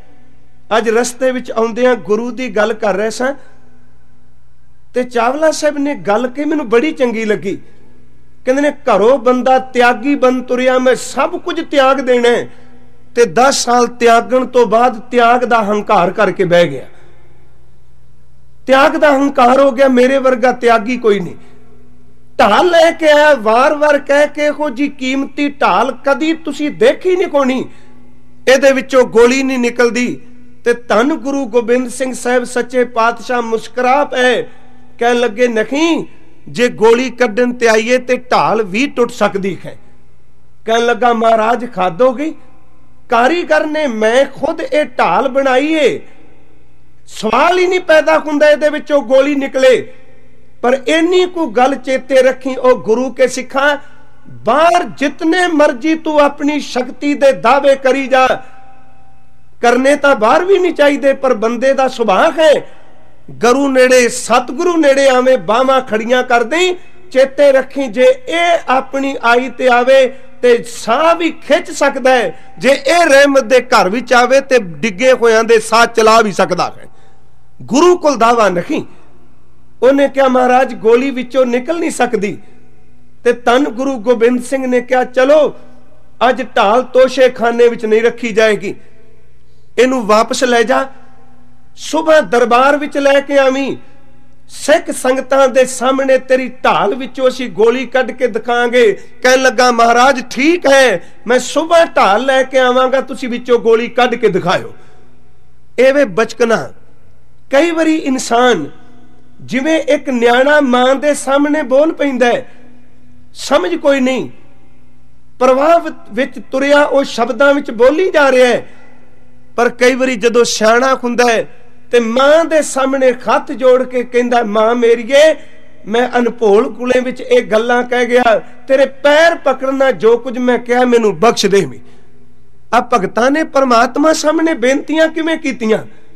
ਜਦੋਂ ਭਾਈ ਸਾਹਿਬ ਸ਼ਬਦ ਪੜ ਰਹੇ ਸਨ ਕਿ ਮੈਨੂੰ ਬਖਸ਼ ਲੈ, ਕਬੀਰ ਸਾਹਿਬ ਦਾ ਇੱਕ ਸ਼ਬਦ ਹੈ ਕਿ ਸੁਤ ਅਪਰਾਧ ਕਰਤ ਹੈ ਜੇਤੇ, ਜਨਨੀ ਚੀਤ ਨ ਰਾਖਸ ਤੇਤੇ। ਰਾਮਈਆ ਕੋ ਬਾਰਕ ਤੇਰਾ ਕਾਏ ਨਾ ਖੰਡਸ ਅਵਗਣ ਮੇਰਾ। ਮੈਂ ਇੱਕ ਬੱਚੇ ਦੀ ਤਰ੍ਹਾਂ ਭੁੱਲ ਕਰ ਬੈਠਾ ਮੈਨੂੰ ਬਖਸ਼ ਲੈ, ਕਾਹੇ ਨਾ ਖੰਡਸ ਅਵਗਣ ਮੇਰਾ। ਜੇ ਅਤ ਕਰੋਪ ਕਰੇ ਕਰਤਾਇਆ, ਤਾਂ ਪੀ ਚੀਤ ਨਾ ਰਾਖਸ ਮਾਇਆ। ਜੇ ਬੱਚਾ ਸਾਹਮਣੇ ਅੱਖਾਂ ਖੋਲ ਕੇ ਬਹਿ ਜਾਏ, ਕਦੀ ਮਾਂ ਚਿਤਾਰਦੀ ਏ ਵੀ ਤੂੰ ਆ ਕੁਛ ਮੇਰੇ ਨਾਲ ਕੀਤਾ, ਖਾਂ ਬੱਚਾ ਬਣ ਕੇ ਅਰਦਾਸ ਕਰੇ। ਉਹਨੇ ਕਿਹਾ, ਮਹਾਰਾਜ ਸਵੇਰ ਢਾਲ ਲੈ ਕੇ ਆਵਾਂਗੇ। ਐਵੇਂ ਨਹੀਂ 6 ਮਹੀਨੇ ਮੁਸ਼ਕਲ ਕੀਤੀ, ਪਰ ਇੰਨੀ ਸਮਝ ਨਾ ਪਈ, ਜਿਹਦੇ ਇੱਕ ਸ਼ਬਦ ਨਿਕਲੇ ਤੇ ਪਰਲੋ ਆ ਸਕਦੀ ਹੈ ਖਰਨ ਭਰਨ ਜਾਂ ਕਾ ਨੇਤਰ ਫੋਰ। ਤੇ ਉਸ ਗੁਰੂ ਨੂੰ ਮੈਂ ਚੈਲੰਜ ਕਰਕੇ ਕਹਿ ਦਿੱਤਾ ਕਿ ਸਵੇਰ ਮੈਂ ਢਾਲ ਲੈ ਕੇ ਆਵਾਂਗਾ। ਕਰਮ ਸੀ ਅੰਦਰ ਦਾ ਖੌਮੇ ਦੇ ਸ਼ਬਦ ਸਨ। ਵਾਪਸ ਆਪਣੇ ਟਿਕਾਣੇ ਤੇ ਗਿਆ। ਕੱਪੜੇ ਵਿੱਚ ਲਪੇਟੀ ਕੋਈ ਢਾਲ ਜਦੋਂ ਅੰਦਰ ਰੱਖੀ ਤੇ ਘਰ ਵਾਲੀ ਨੇ ਪੁੱਛਿਆ ਸੁਆਮੀ ਜੀ, ਇੰਨੀ ਭਾਵਨਾ ਨਾਲ ਤੁਸੀਂ ਢਾਲ ਬਣਾ ਕੇ ਲਿਆਏ ਤੇ ਭੇਟਾ ਕਿਉਂ ਨਹੀਂ ਕੀਤੀ? ਤੇ ਉਹਦੇ ਸਾਹਮਣੇ ਕਹਿੰਦਾ, ਖਾਦ ਹੋ ਗਈ, ਮਿਹਨਤ ਕੀਤੀ, ਇੰਨੀ ਗੈਂਡੇ ਦੀ ਖਲ ਲਿਆ ਕੇ ਢਾਲ ਬਣਾਈ ਤੇ ਗੁਰੂ ਜੀ ਨੂੰ ਕਿਹਾ ਇਹਦੇ ਵਿੱਚੋਂ ਗੋਲੀ ਨਹੀਂ ਨਿਕਲਦੀ। ਮੈਂ ਦੋ ਚਾਰ ਵਾਰੀ ਕਿਹਾ ਵੀ ਇਹੋ ਜੀ ਢਾਲ ਤੁਹਾਡਾ ਤੁਹਾਡੇ ਘਰ ਵਿੱਚ ਤੁਸੀਂ ਕਦੀ ਦੇਖੀ ਨਹੀਂ, ਇਹਦੇ ਵਿੱਚੋਂ ਗੋਲੀ ਨਹੀਂ ਨਿਕਲ ਸਕਦੀ। ਉਹ ਇੱਕੋ ਦਮ ਕੰਬ ਗਈ, ਕਹਿਣ ਲੱਗੀ, ਫਿਰ ਸਤਿਗੁਰੂ ਜੀ ਨੇ ਕੀ ਕਿਹਾ? ਕਹਿਣ ਲੱਗਾ, ਗੁਰੂ ਜੀ ਨੇ ਕੀ ਕਹਿਣਾ ਸੀ? ਇਹ ਕਿਹਾ ਸਵੇਰ ਢਾਲ ਲੈ ਕੇ ਆਵੀਂ, ਤੇਰੀ ਢਾਲ ਵਿੱਚੋਂ ਗੋਲੀ ਕੱਢ ਕੇ ਦਿਖਾਵਾਂਗੇ। ਕਹਿਣ ਲੱਗਾ, ਮੈਂ ਢਾਲ ਵਾਪਸ ਲੈ ਕੇ ਆ ਗਿਆ। ਘਰ ਵਾਲੀ ਸੁਗੜ ਸੀ। ਸਿਆਣੀ ਸੀ। ਗੁਰੂ ਦੀ ਗੁਰਮਤ ਦੀ ਅੰਦਰੋਂ ਜਾਣੂ ਸੀ। ਇੱਕੋ ਦਮ ਅੱਖਾਂ 'ਚ ਨੀਰ ਭਰ ਕੇ ਕਹਿਣ ਲੱਗੀ ਸੁਆਮੀ ਸੇਵਾ ਤਾਂ ਕੀਤੀ, ਪਰ ਕਈ ਵਾਰੀ ਅਕਲ ਥੋੜੀ ਹੋਵੇ ਤੇ ਬੰਦਾ ਸੇਵਾ ਵੀ ਗਵਾ ਜਾਂਦਾ ਹੈ। ਅਸੀਂ ਬਾਣੀ 'ਚ ਪੜ੍ਹਨੇ ਆ ਮਤ ਥੋੜੀ ਸੇਵ ਗਵਾਈਏ। ਸੇਵਾ ਬੜੀ ਕੀਤੀ, ਪਰ ਅਕਲ ਨਹੀਂ, ਮਤ ਨਹੀਂ। ਸ਼ਬਦ ਕਹਿ ਬੈਠਾ, ਗੁਰੂ ਸਮਰੱਥ ਨੇ, ਤੂੰ ਢਾਲ ਦੀ ਗੱਲ ਕਰਨੇ ਉਹਦਾ ਇੱਕ ਇੱਕ ਸਿੱਖ ਤਾਂ ਨਾਗਣੀ ਮਾਰੇ ਤੇ ਹਾਥੀਆਂ ਦੇ ਸਿਰ ਪਾਟ ਜਾਂਦੇ ਨੇ ਤੇ ਉਸ ਗੁਰੂ ਨੂੰ ਚੈਲੰਜ ਕਰ ਰਹੇ ਆ ਕਿ ਇਸ ਵਿੱਚੋਂ ਢਾਲ ਵਿੱਚੋਂ ਗੋਲੀ ਕਦੀ ਨਹੀਂ ਨਿਕਲ ਸਕਦੀ। ਅੰਦਰ ਨੂੰ ਸੋਝੀ ਪਈ, ਮੈਂ ਸੱਚੀ ਮੁੱਚੀ ਗਲਤੀ ਕਰ ਬੈਠਾ ਹੈ ਤਾਂ ਇਹ ਵੀ ਇੱਕ ਕਰਮ ਸੀ ਮੈਂ ਭੁੱਲ ਕਰ ਬੈਠਾ, ਮੇਰਾ ਬਣੇਗਾ ਕੀ? ਹੁਣ ਦੇਖੋ ਫਿਰ ਗੁਰੂ ਕਿਤਨੇ ਕੁ ਬਖਸ਼ਿੰਦ ਨੇ। ਕਦੀ ਬੰਦਾ ਆਪਣੇ ਕੀਤੇ ਕੋਈ ਗੁਨਾਹਾਂ ਦੀ ਖਿਮਾ ਤਾਂ ਮੰਗੇ ਕਿਉਂਕਿ ਦੁਨੀਆ ਵਿੱਚ ਅਸੀਂ ਜਿੰਨਾ ਮਰਜ਼ੀ ਇਸ ਚਮੜੀ ਦੇ ਥੱਲੇ ਵਿਚਾਰਾਂ ਨੂੰ ਰੱਖੀਏ, ਲੋਕ ਨਹੀਂ ਜਾਣਨਗੇ। ਪਰ ਯਾਦ ਰੱਖਿਓ, ਪਰਮਾਤਮਾ ਤਾਂ ਉਦੋਂ ਵੀ ਜਾਣਦਾ ਜਦੋਂ ਸਾਡੇ ਅੰਦਰ ਕਰਮਾਂ ਦੇ ਫੁਰਨੇ ਪੈਦਾ ਹੁੰਦੇ ਨੇ।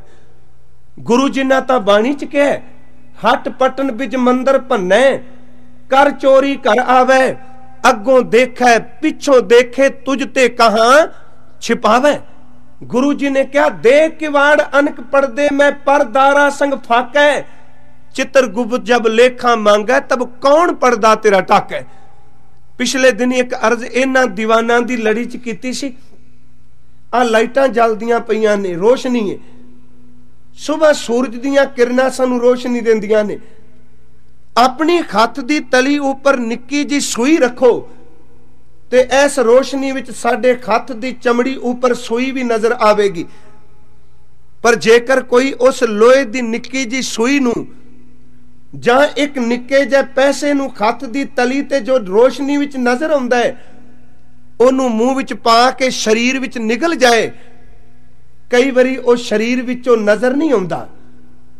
ਆ ਬਾਹਰ ਦੀ ਰੋਸ਼ਨੀ ਕੇਵਲ ਉਹੀ ਚੀਜ਼ਾਂ ਖੱਤ ਤੇ ਦਿਖਾਏਗੀ ਜੋ ਬਾਹਰ ਰੱਖੀਆਂ ਨੇ। ਜਿਹੜੀਆਂ ਸਰੀਰ ਵਿੱਚ ਚਲੀਆਂ ਜਾਣ, ਉਹਨਾਂ ਨੂੰ ਬਾਹਰ ਦੀ ਰੋਸ਼ਨੀ ਵੀ ਕਦੀ ਨਹੀਂ ਦਿਖਾ ਸਕਦੀ।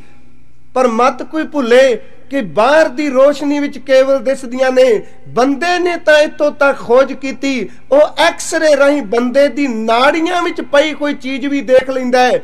ਜੇ ਐਕਸ-ਰੇ ਸਾਡੀ ਚਮੜੀ ਦੀ ਨਾੜੀ ਨਾੜੀ ਨੂੰ ਖੋਜ ਸਕਦੇ ਨੇ ਪਰਮਾਤਮਾ ਤਾਂ ਅੰਤਰਜਾਮੀ ਹੈ ਪਿਆਰਿਆ, ਮਨ ਕਿਸੇ ਨਹੀਂ ਵੇਖਿਆ, ਪਰ ਚੇਤੇ ਰੱਖੀ ਰੱਬ ਤਾਂ ਤੇਰੇ ਮਨ ਦੇ ਉੱਠਦੇ ਹੋਏ ਫੁਰਨੇ ਵੀ ਦੇਖਦਾ ਪਿਆ। ਉਹ ਸਾਡੇ ਅੰਦਰ ਨੂੰ ਦੇਖਦਾ ਪਿਆ ਤੇ ਤੁਸੀਂ ਰੋਜ਼ ਗੁਰੂ ਕਲਗੀਧਰ ਦਾ ਬਚਨ ਪੜ੍ਹਦੇ ਹੋ, ਘਟ ਘਟ ਕੇ ਅੰਤਰ ਕੀ ਜਾਣਤ, ਅਗਲੀ ਤੋਕੀ ਇਹ ਭਰੇ ਬੁਲੇ, ਭਲੇ ਬੁਰੇ ਕੀ ਪੀਰ ਪਛਾਨਤ ਹੁਣ ਇੱਥੇ ਕੱਲਾ ਬੰਦਾ ਨਹੀਂ, ਅਗਲੀਆਂ ਤੁਕਾਂ ਨੇ ਚੀਟੀ ਤੇ ਕੁੰਚਰ ਅਸਥੂਲਾ ਚੀਟੀ ਦਾ ਅਰਥ ਹੈ ਕੀੜੀ, ਕੁੰਚਰ ਦਾ ਅਰਥ ਹੈ ਖਾਥੀ ਤੇਰਾ ਸਰੀਰ ਤਾਂ 3.5 ਮਨ ਦੀ ਦੇਵੇ ਮਣਾ। ਇੱਥੇ ਤਾਂ ਨਿੱਕੀ ਜੀ ਕੀੜੀ ਜਿਹੜੀ ਖੁਰਦ ਬੀਨ ਨਾਲ ਵੀ ਨਾ ਦਿਸੇ, ਪਰਮਾਤਮਾ ਤਾਂ ਉਹਦੇ ਅੰਦਰ ਨੂੰ ਵੀ ਦੇਖਦਾ ਪਿਆ, ਤੂੰ ਕਿੱਥੇ ਬਚ ਕੇ ਚਲਾ ਜਾਏਗਾ? ਕਟ ਕਟ ਕੇ ਅੰਤਰ ਕੀ ਜਾਣਤ ਭਲੇ, ਬੁਰੇ ਕੀ ਪੀਰ ਪਛਾਨਤ ਚੀਟੀ ਤੇ ਕੁੰਚਰ ਅਸਤੂਲਾ ਸਭ ਪਰ ਕਿਰਪਾ, ਦ੍ਰਿਸ਼ਟ ਕਰ ਫੂਲਾ। ਉਸ ਘਰ ਵਾਲੀ ਨੇ ਭਾਈ ਲਾਲ ਸਿੰਘ ਜੀ ਦੇ ਨੇ ਕਿਹਾ ਸੁਆਮੀ ਗੁਰੂ ਸਮਰੱਥ ਕਹੇ ਤੁਸੀਂ ਉਹਨਾਂ ਦੇ ਸਾਹਮਣੇ ਕਹਿ ਕੇ ਆ ਗਏ ਮੇਰੀ ਇਸ ਢਾਲ ਵਿੱਚੋਂ ਗੋਲੀ ਕੱਢ ਕੇ ਦਿਖਾਓ ਸੱਚੀ ਮੁੱਚੀ ਉਹਦਾ ਅੰਦਰ ਕੰਮਿਆ ਹੁਣ ਇੱਥੇ ਆਈ ਨਿਰਮਲਤਾਈ ਇੱਥੇ ਅਰਦਾਸ ਦੀ ਇੱਕ ਭਾਵਨਾ ਪੈਦਾ ਹੋਈ ਕਿ ਖੇ ਸਤਿਗੁਰੂ ਹੁਣ ਮੈਂ ਬਚਾ ਕਿਵੇਂ ਉਹਨੇ ਆਪਣੀ ਘਰਵਾਲੀ ਨੂੰ ਪੁੱਛਿਆ ਕੋਈ ਬਚਾ ਆਖਰ ਮੈਂ ਵੀ ਲੋਕਾਂ ਸਾਹਮਣੇ ਕਹਿ ਕੇ ਆਇਆ ਢਾਲ ਵਿੱਚੋਂ ਗੋਲੀ ਨਹੀਂ ਨਿਕਲੇਗੀ, ਮੇਰੀ ਵੀ ਖੰਗਤਾ ਹੈ। ਉਹਨੇ ਕਿਹਾ, ਇੱਕ ਤਰੀਕਾ ਹੀ, ਸ਼ਾਮ ਦਾ ਵੇਲਾ ਪੰਜਾਂ ਗੁਰੂ ਕੇ ਸਿੱਖਾਂ ਨੂੰ ਬੁਲਾ ਲਿਆ। ਭਾਵੇਂ ਅੱਜ ਇਹਦੀ ਅਹਿਮੀਅਤ ਲੋਕ ਉਤਨੀ ਨਹੀਂ ਜਾਣਦੇ, ਭਾਈ ਸਾਹਿਬ ਨੇ ਤਾਂ ਸ਼ਬਦ ਵਰਤੇ ਸਨ, ਇੱਕ ਸਿੱਖ, ਦੋਏ ਸਾਧ ਸੰਗ, ਪੰਜੀ ਪਰਮੇਸ਼ਰ। ਕਹਿੰਦੇ ਨੇ, ਇਕੱਲਾ ਸਿੱਖ ਹੈ। ਦੋ ਇਕੱਠੇ ਹੋ ਜਾਣ ਤੇ ਸਤ ਸੰਗਤ ਬਣ ਜਾਂਦੀ ਏ। ਜੇ ਕਿਤੇ ਪੰਜ ਬੰਦਗੀ ਕਰਨ ਵਾਲੇ ਬਹਿ ਜਾਣ ਤੇ ਰੱਬ ਉੱਥੇ ਆ ਜਾਂਦਾ ਹੈ। ਇੱਕ ਸਿੱਖ, ਦੋ ਸਾਧ ਸੰਗ, ਪੰਜੀ ਪਰਮੇਸ਼ਰ। ਗੁਰੂ ਜੀ ਨੇ ਬਾਣੀ ਚ ਕਿਹਾ ਪੰਚ ਪ੍ਰਵਾਨ ਪੰਚ ਪ੍ਰਧਾਨ ਪੰਚੇ ਪਾਵੇਂ ਦਰਗਹਿ ਮਾਨ ਪੰਚੇ ਸੋਹੇ ਦਰ ਰਾਜਾਨ ਪੰਚਾਂ ਕਾ ਗੁਰ ਏਕ, ਧਿਆਨ ਉਹ ਗੁਰਮੁਖ ਜਨ। ਉਹਨੇ ਕਿਹਾ, ਫਿਰ ਇੱਕ ਤਰੀਕਾ ਹੀ ਗੁਰੂ ਨੇ ਪੰਜਾਂ ਵਿੱਚ ਬੜੀ ਰਹਿਮਤ ਟਿਕਾਈ ਹੈ ਪਰ ਗਿਣਤੀ ਦੇ ਕੇਵਲ ਪੰਜ ਨਹੀਂ। ਇੱਥੇ ਮੈਨੂੰ ਬਖਸ਼ ਦਿਓ, ਆਪਾਂ ਆਪਣੇ ਪੰਜ ਇਕੱਠੇ ਕਰ ਲੈ। ਕਿਸੇ ਨੇ ਆਪਣੇ ਧੜੇ ਦੇ ਪੰਜ ਇਕੱਠੇ ਕਰ ਲੈ ਨਹੀਂ। ਗੁਰਮੁਖ ਜਨ ਜਿਹੜਾ ਹੈ ਉਹ ਦੁਨੀਆ ਦੇ ਹਰ ਧੜੇ ਤੋਂ ਤਰਕ ਵਿਤਰਕ ਤੋਂ ਉੱਪਰ ਉੱਠ ਕੇ ਜਿਹਦੀ ਆਤਮਾ ਪਰਮਾਤਮਾ ਵਿੱਚ ਅਪੇਧ ਹੈ। ਜਦੋਂ ਪੰਜ ਇਕੱਠੇ ਹੁੰਦੇ ਨੇ, ਪਰਮਾਤਮਾ ਵੀ ਉਹਨਾਂ ਦੀ ਗੱਲ ਕਦੀ ਨਹੀਂ ਮੋੜਦਾ। ਉਹਨੇ ਕਿਹਾ, ਫਿਰ ਉਹਨਾਂ ਗੁਰਮਖਾਂ ਨੂੰ ਬੁਲਾ ਤੇ ਅਰਦਾਸ ਕਰ ਕਿ ਦਾਤਾ ਕਿਰਪਾ ਕਰੀ ਸਿੱਖ ਦੀ ਪੱਤ ਰੱਖ ਲੈ ਹੁਣ ਇਹ ਸ਼ਬਦ ਸਨ, ਸਿੱਖ ਦੀ ਪੱਤ ਰੱਖੀ। ਉਹਨਾਂ ਪੰਜਾਂ ਨੂੰ ਬੁਲਾਇਆ, ਜਲ ਪਾਣੀ ਛਕਾਇਆ ਤੇ ਪੰਜਾਂ ਦੇ ਸਾਹਮਣੇ ਸਿੱਧੀ ਗੱਲ ਕਹੀ ਕਿ ਮੈਂ ਸੰਗਤ ਵਿੱਚ ਕਹਿ ਆਇਆ ਕਿ ਇਹਦੇ, ਇਸ ਢਾਲ ਵਿੱਚੋਂ ਗੋਲੀ ਨਹੀਂ ਨਿਕਲ ਸਕਦੀ। ਗੁਰੂ ਜੀ ਨੇ ਕਿਹਾ, ਮੈਂ ਕੱਢ ਕੇ ਦਿਖਾਵਾਂਗਾ। ਪਰ ਤੁਸੀਂ ਅਰਦਾਸ ਕਰੋ, ਮੈਂ ਖੈ ਤਾਂ ਗਰੀਬੜਾ ਜਾਂ ਸਿੱਖ। ਕਰ ਮੈਂ ਬੈਠਾ ਭੁੱਲ, ਪਰ ਗੁਰੂ ਮੇਰੀ ਪੱਤ ਰੱਖ ਲੈ। ਗੁਰੂ ਮੇਰੀ ਇੱਜ਼ਤ ਰੱਖ ਲੈ। ਇਤਿਹਾਸ ਦੀਆਂ ਸਤਰਾਂ ਨੇ ਕਿ ਪੰਜਾਂ ਨੇ ਅਰਦਾਸ ਕੀਤੀ ਕਿ ਸੱਚੇ ਪਾਤਸ਼ਾਹ ਇਨਸਾਨ ਭੁੱਲਣ ਖਾਰ ਕਹੇ। ਤੁਸੀਂ ਕਿਰਪਾ ਕਰਕੇ ਪਰਦੇ ਪਾਣ ਵਾਲਿਓ, ਇਹਦੇ ਤੋਂ ਕੀਤੀ ਕੋਈ ਭੁੱਲ ਤੇ ਪਰਦਾ ਪਾ ਸਿੱਖ ਦੀ ਪੱਤ ਰੱਖ ਲਿਆ ਜੇ। ਸਵੇਰ ਸੰਗਤ ਇਕੱਠੀ ਕੋਈ ਅੱਜ ਬਹੁਤ ਸਾਰੇ ਲੋਕ ਆਏ ਦੇਖਣ ਵਾਸਤੇ ਕਿ ਢਾਲ ਵਿੱਚੋਂ ਗੋਲੀ ਨਿਕਲਣੀ ਏ। ਭਾਈ ਲਾਲ ਸਿੰਘ ਕੱਪੜੇ 'ਚ ਲਪੇਟੀ ਕੋਈ ਢਾਲ ਲੈ ਆਇਆ। ਸਤਿਗੁਰੂ ਗੁਰੂ ਗੋਬਿੰਦ ਸਿੰਘ ਚੋਜੀ ਪ੍ਰੀਤਮ ਆਪਣੇ ਸਿੰਘਾਸਨ ਤੇ ਬੈਠੇ ਨੇ ਦਰਬਾਰ ਵਿੱਚ ਤੇ ਨੌਕਰ ਸੇਵਾਦਾਰ ਨੂੰ, ਸਿੱਖਾਂ ਨੂੰ ਹੁਕਮ ਕੀਤਾ ਇਹਦੀ ਢਾਲ ਨੂੰ ਸਾਹਮਣੇ ਰੱਖੋ, ਅੱਜ ਅਸੀਂ ਇਹਦੇ ਵਿੱਚੋਂ ਗੋਲੀ ਕੱਢਾਂਗੇ। ਉਹਦਾ ਅੰਦਰ ਕੰਬੇ। ਕਿ ਮੈਂ ਬੇਨਤੀ ਵੀ ਕੀਤੀ ਹੈ। ਸਿੱਖਾਂ ਨੇ ਦੂਰ ਧਾਰ ਰੱਖੀ ਤੇ ਧੰਨ ਗੁਰੂ ਗੋਬਿੰਦ ਸਿੰਘ ਜੀ ਨੇ ਭਾਈ ਆਲਮ ਸਿੰਘ ਇੱਕ ਗੁਰੂ ਕਾ ਸਿੱਖ ਸੀ, ਕਹਿਣ ਲੱਗੇ, ਪਕੜ ਬੰਦੂਕ ਤੇ ਸੰਗਤ ਵਿੱਚ ਇਹਦੀ ਢਾਲ ਵਿੱਚੋਂ ਗੋਲੀ ਕੱਢ ਕੇ ਦਿਖਾ ਦੇ। ਢਾਲ ਵਿੱਚੋਂ ਗੋਲੀ ਚਲਾਈ ਉਹਨੇ। ਭਾਈ ਆਲਮ ਸਿੰਘ ਬੜਾ ਸਿਆਣਾ ਨਿਸ਼ਾਨਚੀ ਸੀ। ਗੋਲੀ ਚੱਲੀ, ਪਰ ਢਾਲ ਟੁੱਟੀ ਨਾ। ਹਜ਼ੂਰ ਨੇ ਫਿਰ ਕਿਹਾ, ਗੋਲੀ ਚਲਾ। ਗੋਲੀ ਚਲਾਈ, ਢਾਲ ਵਿੱਚੋਂ ਫਿਰ ਨਾ ਨਿਕਲੀ।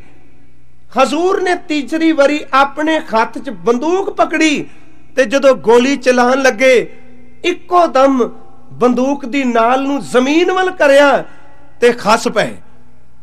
ਸਿੱਖਾਂ ਨੇ ਪੁੱਛਿਆ, ਮਹਾਰਾਜ, ਇਹ ਮਾਜਰਾ ਕੀ? ਮੁਸਕਰਾ ਕੇ ਪਰਤ ਕੇ ਫਿਰ ਨਿਸ਼ਾਨਾ ਬਣਾਇਆ। ਇਹ ਇਤਿਹਾਸ ਦੇ ਪੰਨੇ ਨੇ ਢਾਲ ਦਾ ਨਿਸ਼ਾਨਾ ਬਣਾ ਕੇ ਗੋਲੀ ਚਲਾਉਣ ਲੱਗੇ। ਇੱਕੋ ਦਮ ਫਿਰ ਨਾਲ ਥੱਲੇ ਕੀਤੀ ਤੇ ਭਾਈ ਲਾਲ ਸਿੰਘ ਇੱਕੋ ਦਮ ਢਹਿ ਕੇ ਚਰਨਾਂ ਤੇ ਕਹਿੰਦਾ, ਮੇਰੀ ਰੱਖ ਲਈ। ਸਤਿਗੁਰੂ ਨੇ ਮੁਸਕਰਾ ਕੇ ਕਿਹਾ, ਢਾਲ ਦੇ ਸੰਬੰਧੀ ਲਾਲ ਸਿੰਘਾ, ਸਵੇਰੇ ਸੰਗਤ ਵਿੱਚ ਚੈਲੰਜ ਕਰਕੇ ਗਿਆ ਜਾਂ ਕਹਿ ਕੇ ਗਿਆ ਕਿ ਢਾਲ ਵਿੱਚੋਂ ਗੋਲੀ ਕੱਢ ਕੇ ਦਿਖਾਓ ਤੇ ਸ਼ਾਮ ਨੂੰ ਉਸੇ ਗੁਰੂ ਸਾਹਮਣੇ ਅਰਦਾਸਾਂ ਕਰਨਾ ਮੇਰੀ ਪੱਤ ਰੱਖ ਲਈ। ਜਦੋਂ ਮੈਂ ਗੋਲੀ ਦਾ ਨਿਸ਼ਾਨਾ ਬਣਾਇਆ ਢਾਲ ਉੱਤੇ ਤੇ ਗੁਰੂ ਨਾਨਕ ਸਾਹਿਬ ਆਪਣੇ ਹੱਥ ਰੱਖ ਕੇ ਅੱਗੋਂ ਢਾਲ ਨੂੰ ਟੱਕੀ ਬੈਠੇ ਨੇ। ਮੈਂ ਗੋਲੀ ਚਲਾਉਣ ਲੱਗਾ ਵਾਂ। ਗੁਰੂ ਨਾਨਕ ਸਾਹਿਬ ਨੇ ਆਪਣੇ ਹੱਥ ਨਾਲ ਇਸ ਢਾਲ ਨੂੰ ਰੋਕ ਲਿਆ, ਇਹਨੂੰ ਬਚਾ ਲਿਆ।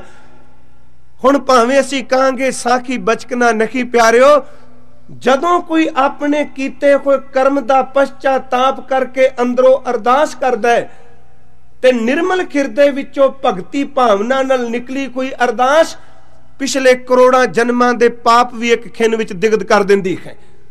ਉਹਨੇ ਅਨਪੋਲ ਚ ਸ਼ਬਦ ਕਿਹਾ, ਧਾਲ ਵਿੱਚੋਂ ਗੋਲੀ ਕੱਢੋ।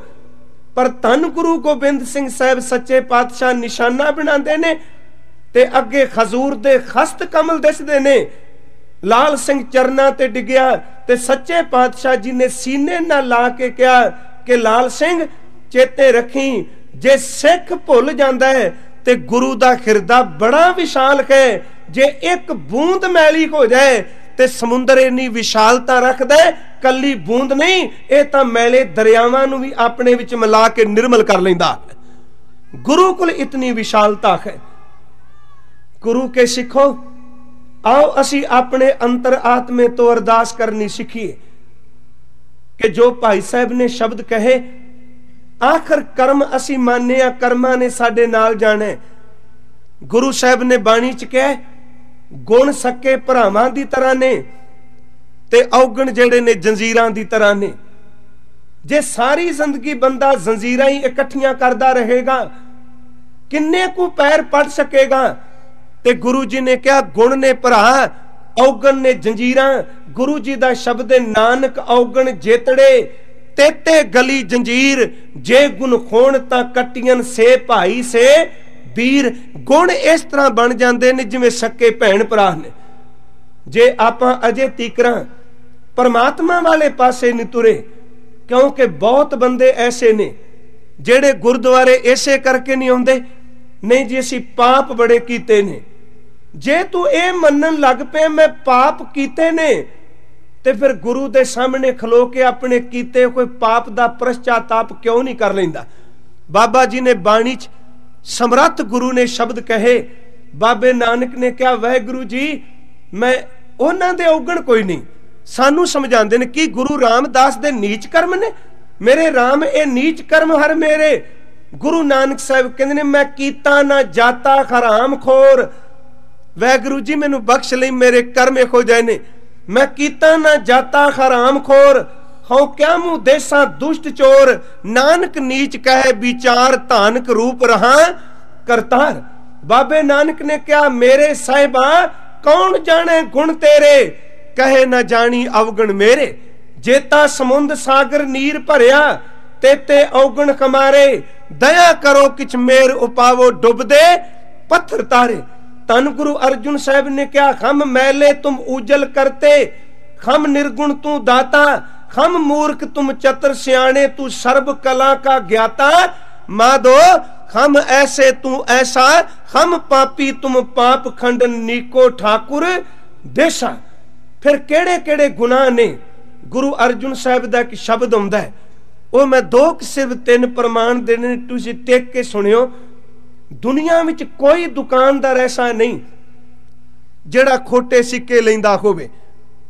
ਅਸਲੀ ਕਰੰਸੀ ਦੇ ਪਾਟੇ ਹੋਏ ਨੋਟ ਤਾਂ ਬਦਲੇ ਜਾਂਦੇ ਨੇ, ਪਰ ਨਕਲੀ ਕਰੰਸੀ ਦੇ ਨਵੇਂ ਨੋਟ ਵੀ ਕਦੀ ਕਿਸੇ ਨੇ ਨਹੀਂ ਜੇ ਲਏ ਅਸਲੀ ਦੇ ਪਾਟੇ ਹੋਏ ਜ਼ਰੂਰ ਵਟਾਏ ਜਾਣਗੇ, ਪਰ ਨਕਲੀ ਕਰੰਸੀ ਦੇ ਤਾਂ ਚਮਕਦੇ ਨੋਟ ਵੀ ਸਿੱਕੇ ਕਦੀ ਕਿਸੇ ਨਹੀਂ ਲਏ। ਕਿਸੇ ਵੀ ਦੁਨੀਆਦਾਰ ਦੀ ਦੁਕਾਨ ਤੇ ਚਲੇ ਜਾਓ, ਖੋਟੇ ਰੁਪਈਏ ਦੇ ਕੇ ਕਹਿ ਦਿਓ ਕਿ ਇਹਦੇ ਬਦਲੇ ਮੈਨੂੰ ਆਹ ਵਸਤੂ ਦੇ ਦੇ। ਚੀਜ਼ ਤਾਂ ਕੀ ਦੇਣੀ ਉਹ ਹਕੂਮਤ ਦੇ ਸਾਹਮਣੇ ਸ਼ਿਕਾਇਤ ਕਰ ਸਾਨੂੰ ਗ੍ਰਿਫਤਾਰ ਕਰਾ ਸਕਦਾ ਹੈ। ਇਹ ਬੰਦਾ ਹਕੂਮਤ ਦੇ ਬਰਾਬਰ ਨਕਲੀ ਨੋਟ ਚਲਾਉਂਦਾ ਪਿਆ ਹੈ। ਦੁਨੀਆ ਦੇ ਦੁਕਾਨਦਾਰ ਖੋਟੇ ਸਿੱਕੇ ਵਾਲਿਆਂ ਨੂੰ ਦੁਕਾਨਾਂ ਤੋਂ ਧੱਕੇ ਮਾਰ ਕੇ ਕਾਨੂੰਨ ਦੇ ਸ਼ਿਕੰਜੇ 'ਚ ਫਸਾ ਦਿੰਦੇ ਨੇ। ਪਰ ਗੁਰਮਖੋ, ਪਰਮਾਤਮਾ ਦੀ ਇੱਕ ਐਸੀ ਖੱਟੀ ਏ ਕਰੋੜਾਂ ਜਨਮਾਂ ਦੇ ਪਾਪ ਕਰਕੇ ਵੀ ਇਹਦੀ ਹੱਟੀ ਚ ਆ ਗਿਓ ਚੇਤੇ ਰੱਖੀਏ ਖੋਟਿਆਂ ਨੂੰ ਵੀ ਆਪਣੇ ਸ਼ਬਦ ਦੀ ਕਿਰਪਾ ਨਾਲ ਖਰੇ ਕਰ ਦਿੰਦਾ ਤੂੰ ਆ ਤਾਂ ਸਹੀ, ਪਰਮਾਤਮਾ ਗੁਰੂ ਵਾਲੇ ਪਾਸੇ, ਗੁਰੂ ਜੀ ਦੇ ਪਿਆਰੇ ਸਿੱਖ ਭਾਈ ਗੁਰਦਾਸ ਦੇ ਸ਼ਬਦ ਨੇ ਕਿ ਸੌਦਾ ਇੱਕ ਟਖਤ ਖਾਏ ਸਾ ਸਤਗੁਰ ਪੂਰਾ, ਅਵਗਣ ਲੈ ਗੁਣ ਵਿਕਣੈ ਵਚਨੇ ਦਾ ਸੂਰਾ। ਤੁਸੀਂ ਰੋਜ਼ ਪੜ੍ਹਦੇ ਹੋ, ਗਾਵੀਐ, ਸੁਣੀਐ, ਮਨ ਰੱਖੀਐ, ਭਾਓ। ਤੂੰ ਆਪ ਬੇਨਤੀ ਕਰ ਦੁੱਖ ਪਰ ਹਰ ਸੁੱਖ ਕਰ ਲੈ ਜਾਏ। ਗੁਰੂ ਜੀ ਨੇ ਕਿਹਾ, ਜੇ ਤੂੰ ਔਗਣ ਕੀਤੇ ਨੇ, ਤੂੰ ਬੇਨਤੀ ਕਰ, ਪਰਮਾਤਮਾ ਤੇਰੇ ਔਗਣ ਬਖਸ਼ੇਗਾ। ਗੁਰੂ ਅਰਜੁਨ ਸਾਹਿਬ ਨੇ ਕੁਝ ਔਗਣ ਗਿਣੇ ਨੇ ਤੇ ਉਹਨਾਂ ਨਾਲ ਫਿਰ ਖਜ਼ੂਰ ਨੇ ਇੱਕ ਉਦਾਹਰਨ ਦਿੱਤੀ, ਉਹ ਪਾਪ ਕਿਵੇਂ ਕੱਟੇ ਜਾਂਦੇ ਸਤਿਗੁਰੂ ਨੇ ਕਿਹਾ, ਕੁਝ ਲੋਕ ਐਸੇ ਨੇ ਜਿਹੜੇ ਕਈ ਜਨਮਾਂ ਦੇ ਕਰਮਾਂ ਦੇ ਦੁੱਖਾਂ ਦੇ ਮਾਰੇ ਪਏ ਨੇ। ਕੁਝ ਲੋਕ ਐਸੇ ਨੇ ਜਿਹੜੇ ਕਈ ਜਨਮਾਂ ਦੇ ਦਰਿਦਰੀ ਨੇ ਆਤ ਦੇ ਆਲਸੀ ਨੇ ਤੇ ਆਲਸੀ ਕਿਵੇਂ ਨੇ ਕਿ ਬੁਰੇ ਕਾਮ ਕੋ ਊਠ ਕਲੋਇਆ, ਨਾਮ ਕੀ ਬੇਲਾ ਪੈ ਪੈ ਸੋਇਆ। ਆਲਸੀ ਐਸੇ ਨੇ। ਚੰਗਿਆਈ ਕਰਦਿਆਂ ਤਾਂ ਉਹਨਾਂ ਨੂੰ ਆਲਸ ਪੈਂਦਾ ਹੈ, ਪਰ ਬੁਰੀਾਈ ਕਰਦਿਆਂ ਸ਼ੇਰ ਦੀ ਤਰ੍ਹਾਂ ਉੱਠ ਖਲੋਂਦੇ ਨੇ। ਚੰਗਿਆਈ ਆਲਕ ਕਰੇ ਬੁਰੀਾਈ ਕੋਈ ਸ਼ੇਰ। ਅੱਜ ਵੀ ਤੁਸੀਂ ਦੇਖੋ ਕਿਹੋ ਜਿਹੇ ਬਦ ਕਰਮ ਹੋਣਗੇ ਉਹਨਾਂ ਲੋਕਾਂ ਦੇ ਕਿ ਜਿਹੜੇ ਸ਼ਾਮ ਦੇ ਵੇਲੇ ਸੂਰਜ ਅਸਤ ਹੁੰਦਾ ਹੈ ਤੇ ਦੁਨੀਆ ਦੀ ਨਿੰਦਿਆ ਕਰਦੇ ਨੇ। ਕੋਰ ਗੁਰਦੁਆਰੇ ਦੇ ਸਪੀਕਰ ਵਿੱਚੋਂ ਰਹਿ ਰਾਸ ਦਾ ਪਾਠ ਬਾਬਾ ਜੀ ਕਰਦੇ ਨੇ, ਸਾਹਮਣੇ ਉਹ ਨਿਕਲ ਜਾਣਗੇ, ਪਰ ਕਦੀ ਉੱਥੇ ਮੱਥਾ ਟੇਕਣ ਵੀ ਨਹੀਂ ਜਾਣਗੇ। ਸੋਚੀਦਾ ਪ੍ਰਮਾਤਮਾ ਕਿਹੋ ਜਿਹਾ ਕਰਮ ਲਿਖਾਏ ਕਿ ਸਾਹਮਣੇ ਉਹ ਨਿਕਲਦੇ ਪਏ ਨੇ ਤੇ ਸਮਝ ਕੋਈ ਨਹੀਂ ਵੀ ਆਖਰ ਸਾਡੇ ਕੰਨਾਂ 'ਚ ਕੋਈ ਆਵਾਜ਼ ਪਈ ਏ। ਪਰ ਗੁਰੂ ਜੀ ਨੇ ਫਿਰ ਵੀ ਕਿਹਾ, ਜੇ ਤੂੰ ਕਰੋੜਾਂ ਜਨਮਾਂ ਦਾ ਦਰਿਦਰੀ ਏ, ਤੂੰ ਅਨੇਕਾਂ ਕਤਲ ਕੀਤੇ ਨੇ, ਅਨੇਕਾਂ ਪਾਪ ਕੀਤੇ ਨੇ, ਅੱਜ ਵੀ ਪਰਮਾਤਮਾ ਦੇ ਸਾਹਮਣੇ ਖਲੋ ਕੇ ਤੋਬਾ ਕਰ ਜਾ, ਗੁਨਾਹਾਂ ਦੀ ਗਲਤੀ ਨੂੰ ਸਵੀਕਾਰ ਕਰ ਜਾ, ਤੇ ਪਰਮਾਤਮਾ ਤੇਰੇ ਪਾਪ ਇਸ ਤਰ੍ਹਾਂ ਸਾੜ ਦੇਗਾ, ਜਿਵੇਂ ਕਈ ਸਾਲਾਂ ਦੀ ਰੂਹ ਇਕੱਠੀ ਕੀਤੀ ਹੋਈ ਇੱਕ ਨਿੱਕੀ ਜੀ ਚੰਗਿਆਰੀ ਨਾਲ ਸੜ ਜਾਂਦੀ ਹੈ। ਤੁਸੀਂ ਨਰਮਾ ਬੀਜਦੇ ਹੋ ਇਹਨੂੰ ਇਹ ਨਾ ਸਮਝਿਓ ਵੀ ਮੈਂ ਸ਼ਾਇਦ ਕਿਸੇ ਦੀ ਘਰ ਦੀ ਨੁਕਸਾਨ ਦੀ ਗੱਲ ਕਰ ਲੱਗਾ, ਸਿਰਫ ਇੱਕ ਉਦਾਹਰਨ ਨੇ। ਨਰਮਾ ਬੀਜਦਿਆਂ ਕਿੰਨਾ ਸਮਾਂ ਲੱਗਦਾ ਹੈ? ਜ਼ਮੀਨ ਵੱਤਰ ਤੇ ਆਈ, ਨਰਮਾ ਬੀਜਿਆ, ਪਰਤ ਕੇ ਸੁੰਡੀ ਤੋਂ ਬਚਾਇਆ, ਕੀੜੇ ਤੋਂ ਬਚਾਇਆ, ਵਿਚਾਰਾ ਜ਼ਿਮੀਦਾਰ ਗਰਮੀ ਵਿੱਚ ਪੱਤੇ ਪੱਤੇ ਨੂੰ ਟੋਲਦਾ ਹੈ, ਜਿਵੇਂ ਆਪਣੇ ਬੱਚਿਆਂ ਦੇ ਸਿਰ ਤੇ ਕੋਈ ਪਿਆਰ ਦਿੰਦਾ ਹੋਵੇ। ਇਸ ਤਰ੍ਹਾਂ ਹੀ ਕਰਨੇ ਆ। ਉਹ ਨਰਮਾ 6 ਮਹੀਨੇ 2-4 ਮਹੀਨੇ ਵਿੱਚ ਤਿਆਰ ਹੋਇਆ ਉਹ ਚੁਣ ਕੇ ਲੈ ਆਏ। ਕਈ ਸਾਲਾਂ ਦਾ ਰੂਹ ਇਕੱਠਾ ਕੀਤਾ ਹੈ।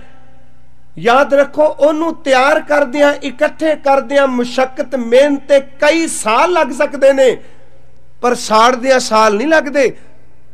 ਜੇ ਕਿਤੇ ਰੂਹ ਦੇ ਅੰਬਾਰ ਲੱਗੇ ਹੋਣ ਤੇ ਅੱਗ ਦੇ ਅੰਗਿਆਰੀਆਂ ਦੀ, ਕੋਲਿਆਂ ਦੀ, ਅੰਬਾਰਾਂ ਦੀ ਲੋੜ ਨਹੀਂ, ਇੱਕ ਨਿੱਕੀ ਜੀ ਦੀਆ ਸਲਾਈ, ਇੱਕ ਚਮਕਦੀ ਕੋਈ ਚਿੰਗ 100 ਏਕੜ ਦੇ ਨਰਮੇ ਨੂੰ ਕੁਝ ਘੰਟਿਆਂ ਵਿੱਚ ਸਾੜ ਕੇ ਰਾਹ ਕਰ ਸਕਦੀ ਏ, ਜੇ ਅੱਗ ਦੀ ਚਿੰਗਾਰੀ ਕਰੋੜਾਂ ਰੂਹ ਦੀਆਂ ਗੱਠਾਂ ਨੂੰ ਸਾੜ ਸਕਦੀ ਏ, ਤੇ ਨਾਮ ਇੱਕ ਐਸੀ ਚਿੰਗਾਰੀ ਏ ਜਿਹਦੇ ਅੰਦਰ ਲੱਗ ਜਾ ਕਰੋੜਾਂ ਜਨਮਾਂ ਦੇ ਪਾਪ ਸਾਰ ਜਾਂਦੀ ਹੈ। ਗੁਰੂ ਜੀ ਨੇ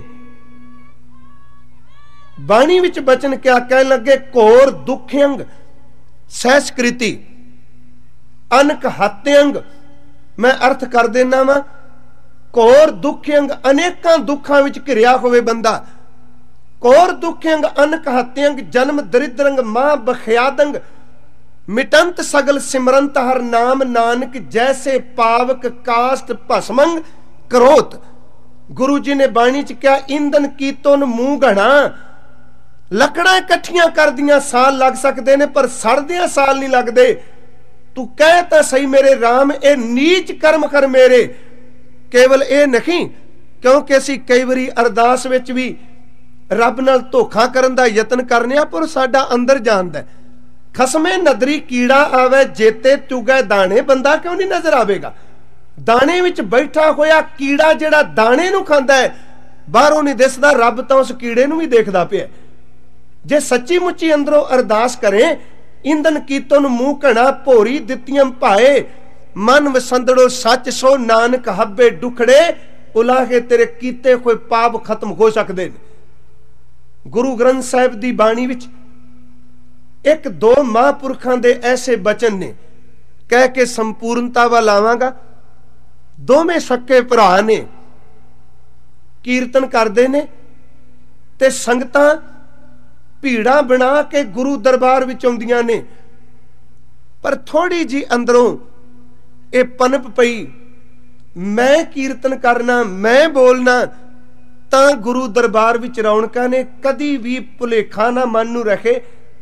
ਸੂਰਜ ਦੀ ਕਿਰਨ ਜਿਸ ਦਿਨ ਇਹ ਦਾਵਾ ਕਰਨ ਲੱਗ ਪਿਆ, ਕਮਲ ਕੋਲ ਜਾ ਕੇ ਕਹੇ, ਕਮਲ ਦੇ ਫੁੱਲ ਤੁਸੀਂ ਦੇਖਦੇ ਹੋ ਪਾਣੀ 'ਚ ਖਿੜਦੇ ਨੇ। ਕਮਲ ਦੇ ਫੁੱਲ ਨੂੰ ਜਾ ਕੇ ਕਿਰਨ ਕਹੇ, ਛੱਡ ਪਰਾਂ ਸੂਰਜ ਨੂੰ। ਆਖਰ ਸਾਡੀ ਕਿਰਪਾ ਨਾਲ ਤੈਨੂੰ ਖੇੜਾ ਮਿਲਦੇ ਨੇ। ਕਿਰਨ ਕਦੀ ਵੀ ਸੂਰਜ ਦੀ ਕਿਰਨ ਭੁਲੇਖਾ ਨਾ ਖਾ ਜਾਏ। ਸੂਰਜ ਖਏ ਤੇ ਕਿਰਨ ਖਏ ਜੇ ਸੂਰਜ ਨਹੀਂ ਤੇ ਕਿਰਨ ਇਕੱਲੀ ਦੀ ਕੋਈ ਕੀਮਤ ਨਹੀਂ। ਉਹਦੀ ਖੋਹਦੀ ਨਹੀਂ। ਜੇ ਕੋਈ ਧਰਮ ਦਾ ਕਰਮ ਕਰਦਾ ਬਾਣੀ ਦੀ ਗੱਲ ਕਰਦਾ ਉਹ ਯਾਦ ਰੱਖੇ ਕਿ ਜੇ ਪ੍ਰਮਾਤਮਾ ਸੂਰਜ ਮੇਰੇ ਅੰਦਰ ਕਿਰਨਾ ਵਿਖਾਰਦਾ ਤੇ ਮੈਂ ਕਿਸੇ ਦੇ ਅੰਦਰ ਨੂੰ ਖੇੜਾ ਦੇ ਰਿਹਾ ਜਿੱਦਨ ਉਹਨੇ ਅੰਦਰ ਵਾਲੀ ਰਹਿਮਤ ਦਾ ਸੂਰਜ ਖਿੱਚ ਲਿਆ, ਫਿਰ ਮੇਰੇ ਪੱਲੇ ਕੀ ਰਹਿਣਾ ਹੈ? ਕੀਰਤਨ ਬੜਾ ਸੋਹਣਾ ਕੀਤਾ। ਪਰ ਭੁੱਲ ਗਿਆ ਇੱਕ ਥਾਂ ਤੇ ਆ ਕੇ। ਮਨ 'ਚ ਆ ਗਿਆ ਵੀ ਮੈਂ ਕੀਰਤਨ ਚੇਤੇ ਰੱਖੋ, ਬੰਦਾ ਜਿਤਨੀ ਮਰਜ਼ੀ ਤਾਕਤਵਰ ਖਰਾਕ ਖਾਏ, ਪਰ ਜੇ ਵਰਜਿਸ਼ ਨਹੀਂ ਕਰਦਾ ਤੇ ਕਈ ਵਾਰੀ ਖੁਰਾਕ ਵੀ ਮੌਤ ਬਣ ਜਾਂਦੀ ਹੈ। ਸਿਮਰਨ ਬੜੀ ਵੱਡੀ ਪਰਮਾਤਮਾ ਦੀ ਦਾਤ ਹੈ। ਕੀਰਤਨ ਬਾਣੀ ਜਪ ਤਪ ਰੱਬ ਦੀ ਬੜੀ ਵੱਡੀ ਖੁਰਾਕ ਏ। ਪਰ ਪਚਦਾ ਉਹਨਾਂ ਨੂੰ ਵੀ ਜਿਹੜੇ ਖੱਥੀ ਸੇਵਾ ਵੀ ਕਰਨ ਤੁਰ ਪੈਂਦੇ ਨੇ। ਜਿਹੜਾ ਬੰਦਾ ਖਾਈ ਜਾਏ, ਵਰਜਿਸ਼ ਨਾ ਕਰੇ, ਕਿ ਉਹ ਬੰਦਾ ਰੋਗੀ ਨਹੀਂ ਹੋ ਜਾਂਦਾ, ਡਾਕਟਰ ਅੱਜ ਕਹਿੰਦੇ ਨੇ, ਆਹ ਚੀਜ਼ ਨਾ ਤੂੰ ਖਾਈ। ਤੇ ਨਾਲ ਇੱਕੋ ਗੱਲ ਕਹਿੰਦੇ ਨੇ, ਜੋ ਕੁਝ ਖਾ ਚੁੱਕਾ ਪਹਿਲਾਂ ਇਹਨੂੰ ਪਛਾਣ ਵਾਸਤੇ ਸੈਰ ਕਰ, ਤੇ ਜੋ ਅਸੀਂ ਧਰਮ ਦਾ ਕਰਮ ਕਰਨੇ ਆ, ਗੁਰੂ ਜੀ ਨੇ ਸਿਮਰਨ ਦਿੱਤਾ ਹੀ, ਇਸ ਕਰਕੇ ਵੀ ਸੇਵਾ ਨਾਲ ਨੂੰ ਪਚਾਇਆ ਜਾ ਸਕਦਾ ਹੈ। ਬਸ ਇੱਕ ਪੁੱਲ ਹੋ ਗਈ। ਅਸੀਂ ਖਾਂ ਤੇ ਗੁਰੂ ਖੈ ਮੈਂ ਸੰਖੇਪ ਜੀ ਗੱਲ ਕਰਾਂ, ਉਹ ਇਹ ਕਰਮ ਕਰ ਬੈਠੇ ਆਖਰ ਮਾੜਾ ਕਰਮ ਸੀ ਕਿ ਭਾਈ ਮਰਦਾਨਾ ਨਾ ਹੁੰਦਾ ਤੇ ਗੁਰੂ ਨਾਨਕ ਸਾਹਿਬ ਨੂੰ ਕਿੰਨੇ ਜਾਣਨਾ ਸੀ। ਗੁਰੂ ਅਰਜੁਨ ਦੇਵ ਨੂੰ ਇਹ ਸ਼ਬਦ ਕਹੇ, ਸੱਤੇ ਤੇ ਬਲਵੰਡ ਜੀ ਨੇ, ਜੇ ਗੁਰੂ ਨਾਨਕ ਸਾਹਿਬ ਮਰਦਾਨਾ ਕੀਰਤਨ ਨਾ ਕਰਦਾ ਤੇ ਬਾਬੇ ਨੂੰ ਕੌਣ ਜਾਣਦਾ? ਸਿੱਖ ਸਭ ਕੁਝ ਸਹਿ ਸਕਦਾ ਹੈ। ਪਰ ਗੁਰੂ ਕੇ ਸਿੱਖੋ ਸਿੱਖ ਆਪਣੇ ਗੁਰੂ ਦੀ ਨਿੰਦਿਆ ਕਦੀ ਨਹੀਂ ਸਹਿ ਸਕਦਾ।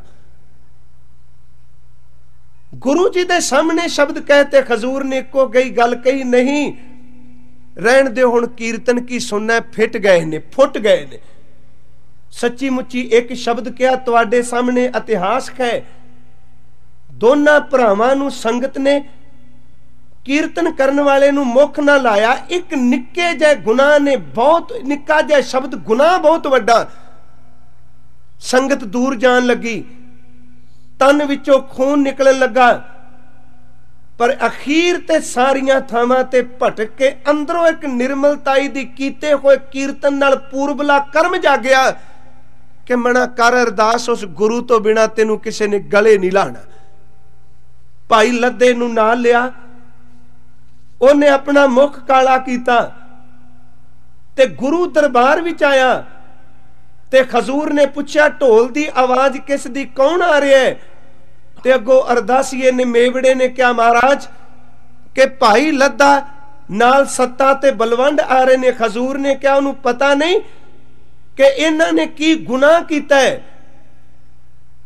ਇਹਦੀ ਸਜ਼ਾ ਕੀ ਉਹਨੂੰ ਪਤਾ ਨਹੀਂ ਅੱਗੋਂ ਸਿੱਖ ਦਾ ਗਲਾ ਭਰਿਆ ਮਹਾਰਾਜ, ਜਿਹੜੀ ਸਜ਼ਾ ਤੁਸੀਂ ਲਾਣੀ ਸੀ, ਉਹ ਸੱਚੀ ਮੁੱਚੀ ਖੁਦ ਆਪਣੇ ਆਪ ਨੂੰ ਸਜ਼ਾ ਦੇ ਕੇ ਆਇਆ ਤਨ ਗੁਰੂ ਅਰਜੁਨ ਦੇ ਬਾਹਰ ਆਏ, ਗਧੇ ਤੇ ਬੈਠੇ ਹੋਏ ਭਾਈ ਲੱਦੇ ਨੇ, ਹੱਥ ਜੋੜ ਕੇ ਕਿਹਾ, ਸੱਚੇ ਪਾਤਸ਼ਾਹ, ਸੰਗਤ ਦੇਖਦੀ ਪਈ ਸੀ, ਮੈਂ ਸਿਰਫ ਇੱਕ ਬੇਨਤੀ ਕਰ ਲੱਗਾ, ਗੁਰੂ ਗੁਨਾਹ ਬਖਸ਼ ਦਿੰਦਾ ਹੈ। ਜੇ ਸੱਚੀ ਮੁੱਚੀ ਮਨ ਲਈ ਮੰਨ ਲਈਏ ਕਿ ਖਮ ਅਪਰਾਧੀ ਸਦ ਭੂਲ ਤੇ ਤੂੰ ਬਖਸ਼ਣ ਖਾਰੇ ਮੁਖ ਉਹਦਾ ਭਰਿਆ ਆਵਾਜ਼ ਦੇ ਕੇ ਕਿਹਾ ਮਹਾਰਾਜ, ਮੈਂ ਤੇਰੇ ਦਰ ਤੋਂ ਫਿਟਕਿਆਂ ਹੋਇਆਂ ਦਾ ਵਕੀਲ ਬਣ ਕੇ ਆਇਆ ਵਾਂ। ਤੇਰੇ ਦਰ ਤੋਂ ਧੱਕਿਆਂ ਹੋਇਆਂ ਦਾ ਵਕੀਲ ਬਣ ਕੇ ਆਇਆ ਵਾਂ। ਹਜ਼ੂਰ ਨੇ ਆਵਾਜ਼ ਦੇ ਕੇ ਕਿਹਾ ਭਾਈ ਲੱਦਾ ਜੀ, ਤੈਨੂੰ ਪਤਾ ਨਹੀਂ ਕਿ ਇਹਨਾਂ ਬੰਦਿਆਂ ਨੇ ਔਗਣ ਗੁਨਾਹ ਕੀ ਕੀਤਾ? ਹਜ਼ੂਰ ਦੇ ਸਾਹਮਣੇ ਖਲੋ ਕੇ ਜਿਹੜੇ ਉਹਨੇ ਸ਼ਬਦ ਕਹੇ, ਇਹ ਸੀ ਗੁਰੂ ਦੇ ਸਿੱਖ ਨੂੰ ਅੰਦਰ ਦੀ ਸੋਝੀ। ਗੁਰੂ ਕਿੰਨਾ ਬਖਸ਼ਿੰਦ ਕਹੇ, ਕਹਿਣ ਲੱਗਾ, ਸੱਚਾ ਪਾਤਸ਼ਾਹ, ਇਹਨਾਂ ਦੇ ਔਗਣ ਨਾ ਦੇਖ, ਤੂੰ ਆਪਣੇ ਬਖਸ਼ਿੰਦ ਘਰ ਵੱਲ ਦੇਖ ਇਹਨੇ ਇਹਨਾਂ ਦੇ ਔਗਣ ਨਹੀਂ ਜਿੰਨੀਆਂ ਤੇਰੀਆਂ ਬਖਸ਼ਾਂ ਨੇ। ਤੁਸੀਂ ਆਪਣੀ ਬਖਸ਼ਿਸ਼ ਦੇਖੋ। ਧੰਨ ਗੁਰੂ ਅਰਜੁਨ ਸਾਹਿਬ ਸੱਚੇ ਪਾਤਸ਼ਾਹ ਨੇ ਇੱਕੋ ਸ਼ਬਦ ਕਿਹਾ ਪਿਆਰਿਓ, ਅੱਜ ਅਸੀਂ ਉਹ ਪੱਲੇ ਬੰਨ ਲਈਏ। ਕਹਿਣ ਲੱਗੇ, ਇਹ ਬਖਸ਼ੇ ਜਾ ਸਕਦੇ ਨੇ ਭਾਈ ਲੱਦਿਆ, ਤੂੰ ਵਿਚੋਲਾ ਬਣ ਕੇ ਆਇਆ ਹੈ। ਇਹਨਾਂ ਨੂੰ ਇੱਕ ਗੱਲ ਕਹੇ, ਕਹਿਣ ਲੱਗਾ, ਸਤਿਗੁਰੂ, ਮੈਂ ਕੀ ਕਹਿਣਾ, ਤੁਸੀਂ ਕਹੋ।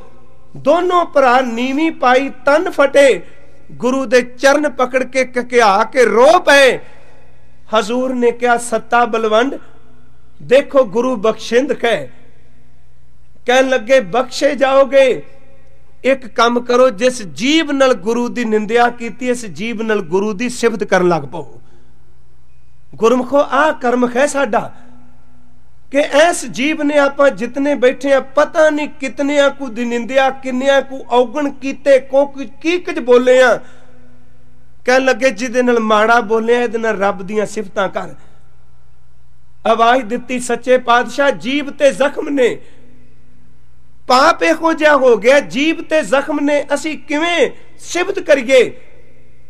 ਇਤਿਹਾਸ ਕਹਿੰਦਾ ਗੁਰੂ ਜੀ ਨੇ ਜਿਸ ਕਲਮ ਨਾਲ ਬਾਣੀ ਲਿਖੀ ਸੀ, ਉਸ ਕਲਮ ਨੂੰ ਮੂੰਹ ਤੇ ਸ਼ਾਈ ਜਦੋਂ ਲਾਈ, ਗੱਲ ਕਲਮ ਦੀ ਜਾਂ ਪਰਨਿਆਂ ਦੀ ਜਾਂ ਕੱਪੜਿਆਂ ਦੀ ਨਹੀਂ, ਗੱਲ ਤਾਂ ਗੁਰੂ ਦੀ ਰਹਿਮਤ ਦੀ ਹੈ, ਗੁਰੂ ਨੇ ਰਹਿਮਤ ਭਰੀ ਨਜ਼ਰ ਨਾਲ ਤੱਕਿਆ, ਜਿਹੜੇ ਅੱਗੇ ਗੁਰੂ ਦੀ ਬਾਣੀ ਦਾ ਕੀਰਤਨ ਕਰਦੇ ਸਨ, ਉਹ ਦੋਨੋਂ ਭਰਾ ਬਾਣੀ ਉਚਾਰਨ ਕਰਨ ਲੱਗ ਪਏ।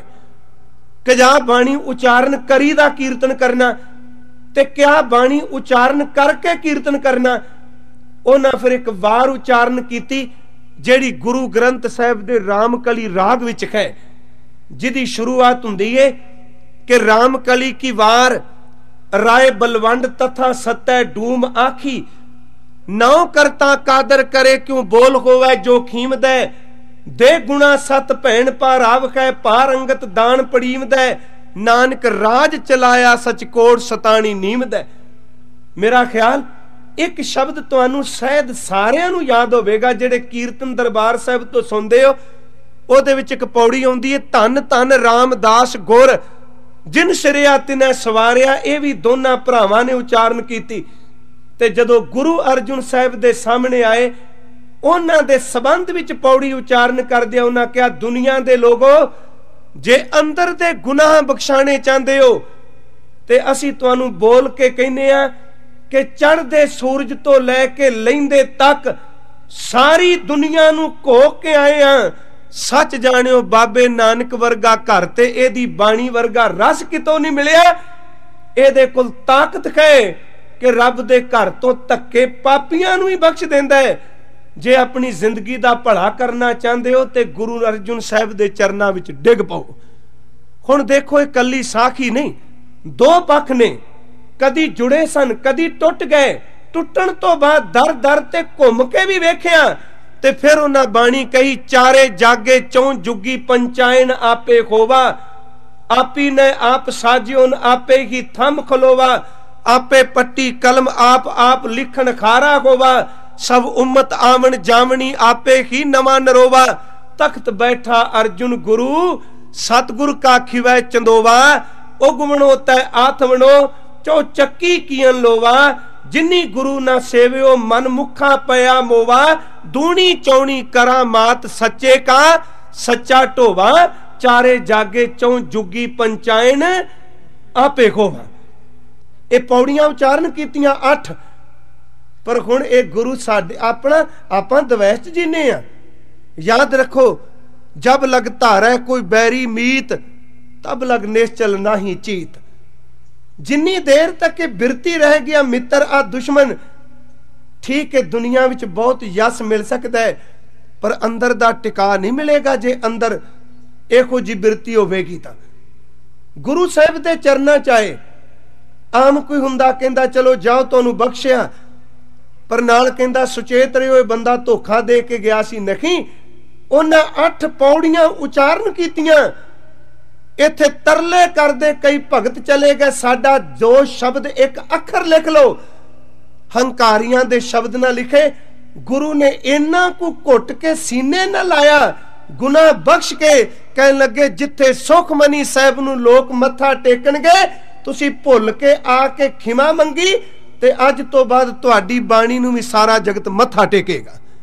ਅੱਜ ਉਹਨਾਂ ਦੇ ਸ਼ਬਦਾਂ ਨੂੰ ਸਮੁੱਚੇ ਸਿੱਖ ਨਮਸਕਾਰਾਂ ਕਰਦੇ ਨੇ। ਪਿਆਰਿਓ, ਆਓ, ਇਹ ਠੀਕ ਹੈ ਕਿ ਅਰਦਾਸ ਸੰਗਤੀ ਵੀ ਖੁੰਦੀ ਏ ਤੇ ਅਰਦਾਸ ਨਿੱਜੀ ਵੀ ਖੁੰਦੀ ਏ। ਕਿਉਂਕਿ ਅੱਜ ਸ਼ਬਦ ਸਾਰੇ ਅਰਦਾਸ ਦੇ ਪੜੇ ਗਏ ਕਿ ਖਮ ਅਪਰਾਧੀ ਸਦ ਭੂਲ ਤੇ ਅਸੀਂ ਸੱਚੀ ਮੁੱਚੀ ਭੁੱਲਨੇ ਆ। ਤੇ ਇਹ ਸ਼ਬਦ ਜ਼ਿੰਦਗੀ ਚੇਤੇ ਰੱਖੀਏ। ਭਾਵੇਂ ਸਿਆਣੇ ਲੋਕ ਤਿੰਨ ਸ਼ਬਦ ਕਹਿੰਦੇ ਸਨ ਕਿ ਭੁੱਲਾ, ਭਲਾ ਤੇ ਭਾਣਾ, ਤਿੰਨ ਭੱਬੇ ਨਾ ਕਦੀ ਭੁੱਲੀ। ਭੱਲਾ, ਭਲਾ, ਭੁੱਲਾ ਤੇ ਭਾਣਾ। ਇਹਦਾ ਮਤਲਬ ਸੀ ਜਦੋਂ ਗੁਰੂ ਕੋਲ ਜਾਏ ਹੁਕਮ ਕਰੇ ਤੇ ਅੱਗੋਂ ਤਰਕ ਨਾ ਕਰੀ ਸਤ ਬਚਨ ਭਲਾ। ਜੇ ਗੁਰੂ ਕੋਈ ਤੇਰੇ ਨਾਲ ਚੰਗੀ ਮੰਦੀ ਖੇਡ ਵੀ ਵਰਤਾ ਦਿੰਦਾ ਹੈ, ਦੁੱਖ ਸਿਖਾ ਜਾਂਦਾ ਹੈ, ਤੇ ਅਗਲਾ ਭੱਬਾ ਸ਼ਬਦ ਚੇਤੇ ਰੱਖੀ ਭਾਣਾ। ਤੇ ਜੇ ਕਿਤੇ ਜ਼ਿੰਦਗੀ 'ਚ ਤੂੰ ਗੁਨਾਹ ਕਰ ਜਾਣੇ ਆਪਣੀ ਸਿਆਣਪ ਨਾਲ ਇਹ ਨਾ ਕਹੀਂ ਮੈਂ ਠੀਕ ਹਾਂ, ਬਸ ਇੱਕੋ ਗੱਲ ਕਹਿ ਦੀ, ਭੁੱਲਾ। ਭੁੱਲਾ, ਭਲਾ ਤੇ ਭਾਣਾ। ਤਿੰਨ ਸ਼ਬਦ ਜੇ ਸਾਡੀ ਜ਼ਿੰਦਗੀ ਦੇ ਅੱਜ ਅਸੀਂ ਪੱਲੇ ਬਨ ਕੇ ਲੈ ਜਾਈਏ ਵੀ ਚੌਕ ਕੇ ਪਿੰਡ 'ਚ ਗਏ ਸਾਂ, ਅੱਜ ਤੋਂ ਬਾਅਦ ਗੁਰੂ ਕੋਲ ਆ ਤਿੰਨ ਸ਼ਬਦ ਚੇਤੇ ਰੱਖਣੇ ਨੇ ਕਿ ਗੁਰੂ ਕਦੀ ਨਹੀਂ ਭੁੱਲਦਾ, ਅਸੀਂ ਭੁੱਲਨੇ ਆ। ਸਾਨੂੰ ਚੰਗਾ ਨਹੀਂ ਲੱਗਦਾ ਗੱਲ ਵੱਖਰੀ, ਪਰ ਗੁਰੂ ਦਾ ਭਾਣਾ ਸਤ ਹੈ ਤੇ ਤੀਸਰੀ ਗੱਲ, ਤਰਕ ਦੀ ਥਾਂ ਤੇ ਭਲਾ ਕਰ ਮੰਨੀਏ, ਗੁਰੂ ਗ੍ਰੰਥ ਸਾਹਿਬ ਕਿਰਪਾ ਕਰੇ, ਅਰਦਾਸ ਅਸੀਂ ਸਾਰਿਆਂ ਕਰਨੀ ਹੈ ਕਿ ਸੱਚੀ ਮੁੱਚੀ ਇਕੱਲੇ ਜਿਹੜੇ ਤੁਸੀਂ ਬੈਠੇ ਹੋ, ਥੱਲੇ ਇਸ ਕਰਕੇ ਨਹੀਂ। ਮੈਂ ਕਹੀ ਜਦੋਂ ਭਾਈ ਸਾਹਿਬ ਸ਼ਬਦ ਅਜ ਪੜ ਰਹੇ ਸਨ, ਮਨ ਚ ਆ ਰਿਹਾ ਸੀ ਮਣਾ ਅਸੀਂ ਕਿਸ ਖੌਮੇ ਦੇ ਸਿਖਰ ਤੇ ਬੈਠੇ ਆ ਜਿਸ ਗੁਰੂ ਦੇ ਦਰਸ਼ਨ ਕੀਤਿਆਂ ਪਾਪ ਕੱਟੇ ਜਾਂਦੇ ਨੇ। ਜੇ ਇਹ ਗੁਰੂ ਐਡੀ ਵੱਡੀ ਟੇਕ ਕੇ ਅਰਦਾਸ ਕਰਦਾ ਪਿਆ, ਸਾਨੂੰ ਕਿੰਨੀਆਂ ਕੁ ਕਰਨੀਆਂ ਚਾਹੀਦੀਆਂ ਤੇ ਅਰਦਾਸ ਸ਼ਬਦ ਅਖੀਰ ਤੇ ਮੈਂ ਸਮਾਪਤੀ ਕਰਾਂ, ਸਮਾਂ ਤੁਹਾਡਾ ਕਾਫੀ ਲੈ ਲਿਆ, ਤੁਸੀਂ ਟੇਕ ਕੇ ਬੈਠੇ ਹੋ। ਭਾਈ ਸਾਹਿਬ ਨੇ ਕਿਹਾ ਸੀ ਵੀ ਤੇ ਸੱਚੀ ਬੁੱਚੀ ਇਹ ਟਿਕਾ ਇਤਨਾ ਕਈ ਵਾਰੀ ਇਹ ਨਹੀਂ ਵੀ ਅਸੀਂ ਖੁਸ਼ਾਮਦ ਸ਼ਬਦ ਕਰ ਰਹੇ ਆ ਬੀਬੀ ਜੀ ਬੁਲਾਉਂਦੇ ਨੇ ਤੇ ਤਾਂ, ਕਿਉਂਕਿ ਮੈਨੂੰ ਇਹਨਾਂ ਦੇ ਸਪਸ਼ਟਵਾਦੀ ਸ਼ਬਦਾਂ ਦਾ ਮੈਂ ਕਾਇਲ ਖਾਂ ਜੋ ਸੱਚ ਹੈ ਉਹਨੂੰ ਸੱਚ ਕਿਉਂ ਕਿਉਂ ਆਪਾਂ ਪਰਦੇ ਪਾ ਕੇ ਸ਼ਬਦਾਂ ਦੇ ਪਰਦੇ ਥੱਲੇ ਜੀਣਾ? ਸੱਚੀ ਮੁੱਚੀ, ਤੁਸੀਂ ਟਿਕ ਕੇ ਬੈਠੇ ਹੋ ਤੇ ਗੁਰੂ ਜੀ ਦਾ ਬਚਨ ਚੇਤੇ ਆ ਰਿਹਾ ਹੈ ਕਿ ਤਹਾਂ ਬੈਕੁੰਠ ਜੈ ਕੀਰਤਨ ਤੇਰਾ ਤੂੰ ਆਪੇ ਸ਼ਰਧਾ ਲਾਹੇ। ਆ ਧਰਤੀ ਦੇ ਪਤਾ ਨਹੀਂ ਕਿਤਨੇ ਕੁ ਭਾਗ ਚੰਗੇ ਨੇ, ਜਿਹੜੀਆਂ ਇੱਥੇ ਅੱਜ ਤਰੰਗਾ ਵਿਖਰ ਰਹੀਆਂ ਨੇ ਨਾ, ਇੱਥੋਂ ਲੰਘਣ ਵਾਲੇ ਕਈ ਮਹੀਨੇ ਲੋਕਾਂ ਨੂੰ ਵੀ ਸ਼ਾਂਤੀ ਮਿਲੇਗੀ। ਇਲਾਕੇ ਦਾ ਵੀ ਭਲਾ ਹੁੰਦਾ ਹੈ। ਪਿਛਲੇ ਦਿਨੀ ਸਿਰਫ ਅਰਦਾਸ ਸ਼ਬਦ ਦੇ ਅਖਰੀ ਅਰਥ ਮੈਂ ਬੜੀ ਵਾਰੀ ਕੀਤੇ ਨੇ। ਤੁਹਾਡੇ ਇਲਾਕੇ ਚ ਆਇਆ ਹੋ ਸਕਦਾ ਕਈ ਸੰਗਤ ਪਹਿਲੀ ਵਾਰੀ ਸੰਗਤ ਵੀ ਸੁਣਨ ਆਈ ਹੋਵੇ, ਟੀਵੀ ਰਹੀ ਬੰਤ ਵਾਰੀ ਸੁਣਿਆ ਹੋਵੇ ਸਿਰਫ ਅਰਦਾਸ ਸ਼ਬਦ ਦੇ ਅਖਰੀ ਅਰਥ ਅਸੀਂ ਸਾਰੇ ਚੇਤੇ ਰੱਖੀਏ। ਇਹ ਪੱਲੇ ਬੰਨਣ ਵਾਲੇ ਨੇ। ਚਾਰ ਅੱਖਰਾਂ ਨਾਲ ਇਹ ਸ਼ਬਦ ਬਣਿਆ ਐੜਾ, ਰਾਰਾ, ਦੱਦਾ ਤੇ ਸੱਸਾ। ਇਹ ਥਾਂ ਪਰ ਥਾਂ ਤਾਂ ਕਹਿਣਾ ਹੁੰਨਾ ਕਿਉਂਕਿ ਅਰਦਾਸ ਸ਼ਬਦ ਕਹਿੰਦੇ ਆ, ਸਰ ਸਾਨੂੰ ਰੱਬ ਦੇ ਗੁਣ ਅੰਦਰੋਂ ਮਹਿਸੂਸ ਹੋਣ ਲੱਗ ਪੈਣ। ਐੜੇ ਦਾ ਅਰਥ ਹੈ, ਅੰਤਰਜਾਮੀ। ਤੂੰ ਨਾ ਵੀ ਬੋਲ ਕੇ ਅਰਦਾਸ ਕਰੀ, ਤੂੰ ਮੂੰਹ ਬੰਦ ਕਰਕੇ ਖਲੋਤਾ ਰਹੀ, ਰੱਬ ਤਾਂ ਵੀ ਤੇਰੇ ਅੰਦਰ ਨੂੰ ਪੜਦਾ ਪਿਆ ਜੇ ਬਾਬਾ ਮਸਜਿਦ 'ਚ ਖਲੋਤਾ ਘੋੜੇ ਵੇਚਣ ਵਾਲੇ ਤੇ ਖਰੀਦਣ ਵਾਲਿਆਂ ਨੂੰ ਦੇਖ ਸਕਦਾ, ਗੁਰੂ ਗ੍ਰੰਥ ਸਾਹਿਬ ਸਾਨੂੰ ਨਹੀਂ ਦੇਖਦਾ ਪਿਆ। ਅਰਦਾਸ ਦੇ ਐੜੇ ਅੱਖਰ ਦਾ ਅਰਥ ਹੈ ਅੰਤਰਜਾਮੀ ਤੇ ਅਗਲਾ ਅੱਖਰ ਹੁੰਦਾ ਹੈ ਰਾਰਾ। ਅੱਖਰਾਂ ਵਿੱਚੋਂ ਸ਼ਬਦ ਬਣਦਾ ਹੈ। ਰਾਰੇ ਦਾ ਅਰਥ ਹੈ, ਪਰਮਾਤਮਾ ਕੇਵਲ ਅੰਤਰਜਾਮੀ ਨਹੀਂ ਤੂੰ ਧਰਤੀ ਦੇ ਕਿਸੇ ਹਿੱਸੇ ਵਿੱਚ ਵੀ ਚੱਲਾ ਜਾਈ, ਰੱਬ ਵਰਗਾ ਰਖਵਾਲਾ ਕੋਈ ਨਹੀਂ ਲੱਭਣਾ। ਤੂੰ ਮੇਰਾ ਰਾਖਾ ਸਭਣੀ ਥਾਈ। ਤੀਸਰਾ ਅੱਖਰ ਹੁੰਦਾ ਐੜਾ ਅੰਤਰਜਾਮੀ ਰਾਰਾ ਰਖਵਾਲਾ। ਅਗਲੇ ਦੋ ਅੱਖਰ ਨੇ ਮਾਤਰਾ ਸਮੇਤ ਦਾ। ਦਾ ਦਾ ਅਰਥ ਹੈ ਦੱਦੇ ਦਾ ਅਰਥ ਹੈ ਦਾਤਾਰ। ਅਰਦਾਸ ਕਰਨ ਵਾਲਿਆ ਅਰਦਾਸ ਦੇ ਸ਼ਬਦ ਰੱਬ ਨੂੰ ਕੇਵਲ ਕਈ ਨਾ ਜਾ, ਮੈਨੂੰ ਦਾਤਾ ਦਾਤਾ ਸ਼ਬਦ ਨਾ ਕਹੇ। ਕੇਵਲ ਤੇ ਆਸ ਬੰਦੇ ਦੀ ਰੱਖੇ ਦੱਦੇ ਦਾ ਅਰਥ ਹੈ ਰੱਬ ਵਰਗਾ ਦਾਤਾ ਕੋਈ ਨਹੀਂ। ਬੰਦਾ ਦੇ ਕੇ ਚਤਾਰਦਾ, ਰੱਬ ਸਭ ਕੁਝ ਦੇ ਕੇ ਵੀ ਕਦੀ ਨਹੀਂ ਚਤਾਰਦਾ। ਦੇ ਨਾ ਪਛੋਤਾਏ ਦੱਦਾ ਦਾਤਾਰ ਤੇ ਅਖੀਰਲਾ ਚੌਥਾ ਅੱਖਰ ਹੁੰਦਾ ਹੈ, ਅਰਦਾਸ ਦਾ ਸੱਸਾ। ਇਹਦੇ ਅਰਥ ਨੇ ਕਿ ਇੱਕ ਦਿਨ ਸਾਰੇ ਸਹਾਰੇ ਬੰਦੇ ਦੇ ਟੁੱਟਨੇ ਨੇ। ਤੇ ਯਾਦ ਰੱਖੀ ਜੇ ਪ੍ਰਮਾਤਮਾ ਅੰਤਰਜਾਮੀ ਰਖਵਾਲਾ ਤੇ ਦਾਤਾ ਹੈ ਜਿਸ ਦਿਨ ਤੇਰਾ ਕੋਈ ਵੀ ਸਹਾਰਾ ਨਾ ਬਚਿਆ, ਸੱਸਾ ਕਹਿ ਰਿਹਾ, ਰੱਬ ਵਰਗਾ ਸਹਾਰਾ ਤੈਨੂੰ ਕਿਤੋਂ ਵੀ ਨਹੀਂ ਮਿਲਣਾ। ਰੱਬ ਸਹਾਰਾ ਦੇਣ ਵਾਲਾ ਹੈ ਸਤਿਗੁਰੂ ਗੁਰੂ ਗ੍ਰੰਥ ਸਾਹਿਬ ਕਿਰਪਾ ਕਰੇ, ਆਪ ਜੀ ਦੀ ਭਾਵਨਾ ਨੂੰ ਭਾਗ ਲਾਏ। ਜੋ ਭਾਈ ਸਾਹਿਬ ਨੇ ਕੀਰਤਨ ਵੀ ਸੁਣਾਇਆ ਕਿਉਂਕਿ ਸਾਡਾ ਦੋਵਾਂ ਦਾ ਇੱਕ ਅਸੀਂ ਤਾਲਮੇਲ ਬਣਾਉਣਾ ਚਾਹੁੰਦੇ ਹੁੰਨੇ ਆ ਕਿ ਜਿਹੜਾ ਕੀਰਤਨ ਹੋਇਆ ਤੁਸੀਂ ਸੁਣਿਆ ਉਹਦੇ ਅਰਥ, ਉਹਦੇ ਹਿਸਾਬ ਨਾਲ ਕਥਾ ਦਾ ਪ੍ਰਕਰਨ ਰੱਖਿਆ ਜਾਏ। ਆਓ ਅਸੀਂ ਵੀ ਅਰਦਾਸ ਕਰੀਏ, ਦਾਤਾ ਜੀ, ਕਿਰਪਾ ਕਰੋ ਦੀਨ ਕੇ ਦਾਤੇ, ਮੇਰਾ ਗੁਣ ਅਵਗਣ ਨਾ ਵਿਚਾਰੋ ਕੋਈ, ਮਾਟੀ ਕਾ ਕਿਆ ਧੋਪੈ ਸੁਆਮੀ ਮਾਨਸ ਕੀ ਗਾਤੇ ਹੀ। ਇਤਨੀਆਂ ਕੁ ਬੇਨਤੀਆਂ ਪ੍ਰਵਾਨ ਕਰਿਓ। ਕੱਲ ਦਾ ਪ੍ਰੋਗਰਾਮ ਆਪ ਜੀ ਨੂੰ ਭਾਈ ਸਾਹਿਬ ਨੇ ਦੱਸ ਦਿੱਤਾ ਹੈ। ਵਕਤ ਸਿਰ ਆਉਣ ਦੀ ਕੋਸ਼ਿਸ਼ ਕਰਿਓ। ਠੀਕ ਹੈ, ਭਾਵੇਂ ਅੱਜ ਕਰ ਝੋਨਾ ਵੱਢਿਆ ਜਾ ਰਿਹਾ, ਘਰਾਂ 'ਚ ਬੀਬੀਆਂ ਨੂੰ ਵੀ ਕੰਮ ਕਾਰ ਹੈ, ਪਰ ਚੇਤੇ ਰੱਖੋ, ਇਹ ਇਸ ਇਹੋ ਜਿਹਾ ਕਰਮ ਹੋਰ ਕੋਈ ਨਹੀਂ ਜੇ। ਵਕਤ ਸਿਰ ਦੂਸਰੀ ਅਸੀਂ ਖਾਰ ਥਾਂ ਜਿੱਥੇ ਵੀ ਪ੍ਰੋਗਰਾਮ ਕਰਨੇ ਆ, ਇੱਕ ਬੇਨਤੀ ਕਰੀ ਦੀ, ਤੁਸੀਂ 7-8 ਘੰਟੇ 5-6 ਘੰਟੇ ਬੈਠੇ ਹੋ।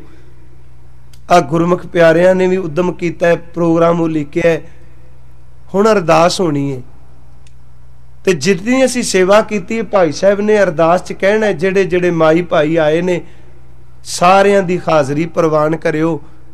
ਦੇਖੋ, ਹੁਣ ਬਹਿ ਕੇ ਐਪਲੀਕੇਸ਼ਨ ਦੇ ਕੇ ਨਾ ਤੁਰ ਜਾਇਓ। ਜਦੋਂ ਸਕੂਲ 'ਚ ਕਿਸੇ ਨਾ ਜਾਣਾ ਹੋਵੇ, ਉਹ ਨਾਲ ਦੇ ਨੂੰ ਐਪਲੀਕੇਸ਼ਨ ਦੇ ਦਿੰਦਾ, ਮੇਰੀ ਹਾਜ਼ਰੀ ਜਦੋਂ ਬੋਲੇ ਤੇ ਆ ਦੇ ਦੇਈ। ਹੁਣ ਆਪਾਂ ਇੰਨਾ ਸਮਾਂ ਕਲਾਸ 'ਚ ਬੈਠੇ ਆ, ਹਾਜ਼ਰੀ ਲੱਗਣ ਲੱਗੀ ਹੋਵੇ ਆਪਾਂ ਤੁਰ ਜਾਈਏ ਤੇ ਭਾਈ ਸਾਹਿਬ ਨੂੰ ਐਪਲੀਕੇਸ਼ਨ ਦੇ ਦੀ, ਆਏ ਸਾਂ ਨਹੀਂ, ਇਸ ਹਾਜ਼ਰੀ ਨੂੰ ਆਪ ਲਵਾਈਏ ਤੇ ਗੁਰੂ ਚਰਨਾਂ 'ਚ ਅਰਦਾਸ ਕਰੀਏ, ਸੱਚੇ ਪਾਤਸ਼ਾਹ, ਜਿਸ ਮਨੋਰਥ ਲਈ ਮਨੁੱਖਾ ਜਨਮ ਦਿੱਤਾ ਹੀ ਨਾ, ਇਹਨੂੰ ਕਿਸੇ ਸਿਰੇ ਲਾ ਦੇ, ਸੇਵਾ ਤੇ ਸਿਮਰਨ ਵਿੱਚ ਸਫਲ ਕਰ ਦੇ। ਕੱਲ ਨੂੰ, ਹਾਂ, ਦੂਸਰੀ ਬੇਨਤੀ, ਅਰਦਾਸ ਤੋਂ ਬਾਅਦ ਹੁੰਦਾ ਕਿ ਅਸੀਂ ਸਾਰੇ ਫਿਰ ਤੁਰਨ ਲੱਗਨੇ ਆ। ਬੀਬੀ ਜੀ ਬੈਠੇ ਨੇ ਨਾ ਸੀਐਮ ਸਾਹਿਬ ਆਉਣ ਸਿਕਿਉਰਿਟੀ ਵਾਲੇ ਵੀਰ ਦੇਖੋ ਖਲੋਤੇ ਨੇ, ਮੈਂ ਇਹ ਵੈਸੇ ਧੰਨਵਾਦ ਤੇ ਇਹਨਾਂ ਦਾ ਕੱਲ ਹੀ ਸਾਰਿਆਂ ਦਾ ਕਰਨਾ ਵੀ ਭਾਈ ਤੁਹਾਡੇ ਵੀ ਭਾਗ ਚੰਗੇ ਨੇ। ਕੰਨਾਂ 'ਚ ਆਖਰ ਗੁਰੂ ਦਾ ਸ਼ਬਦ ਕੋਈ ਨਾ ਕੋਈ ਤੇ ਪਿਆ ਹੈ। ਜੇ ਸੀਐਮ ਆਇਆ ਹੋਵੇ ਨਾ ਸੀਐਮ ਸਾਹਿਬ ਹੋਣ ਤੇ ਸਿਕਿਉਰਿਟੀ ਨਹੀਂ ਜਾਏਗੀ। ਮੁਲਾਜ਼ਮ ਉੱਤੇ ਖਲੋਤੇ ਰਹਿਣਗੇ ਤੇ ਸ਼ਹਿਨशाह ਦੇ ਸ਼ਹਿਨशाह ਬੈਠੇ ਆ। ਪਿਆਰੇ, ਉਹਨਾਂ ਨੂੰ ਵਿਦਾਇਗੀ ਦੇ ਕੇ ਆਪਾਂ ਜਾਣਾ ਗੁਰੂ ਨੂੰ ਵਿਦਾਇਗੀ ਦਿਓਗੇ ਨਾ ਤੇ ਚੇਤੇ ਰੱਖਿਓ ਜਦੋਂ ਸੰਸਾਰ ਤੋਂ ਤੁਰਾਂਗੇ ਗੁਰੂ ਬੂਏ ਵਿੱਚ ਸਾਨੂੰ ਜੀ ਆਇਆ ਕਹੇਗਾ।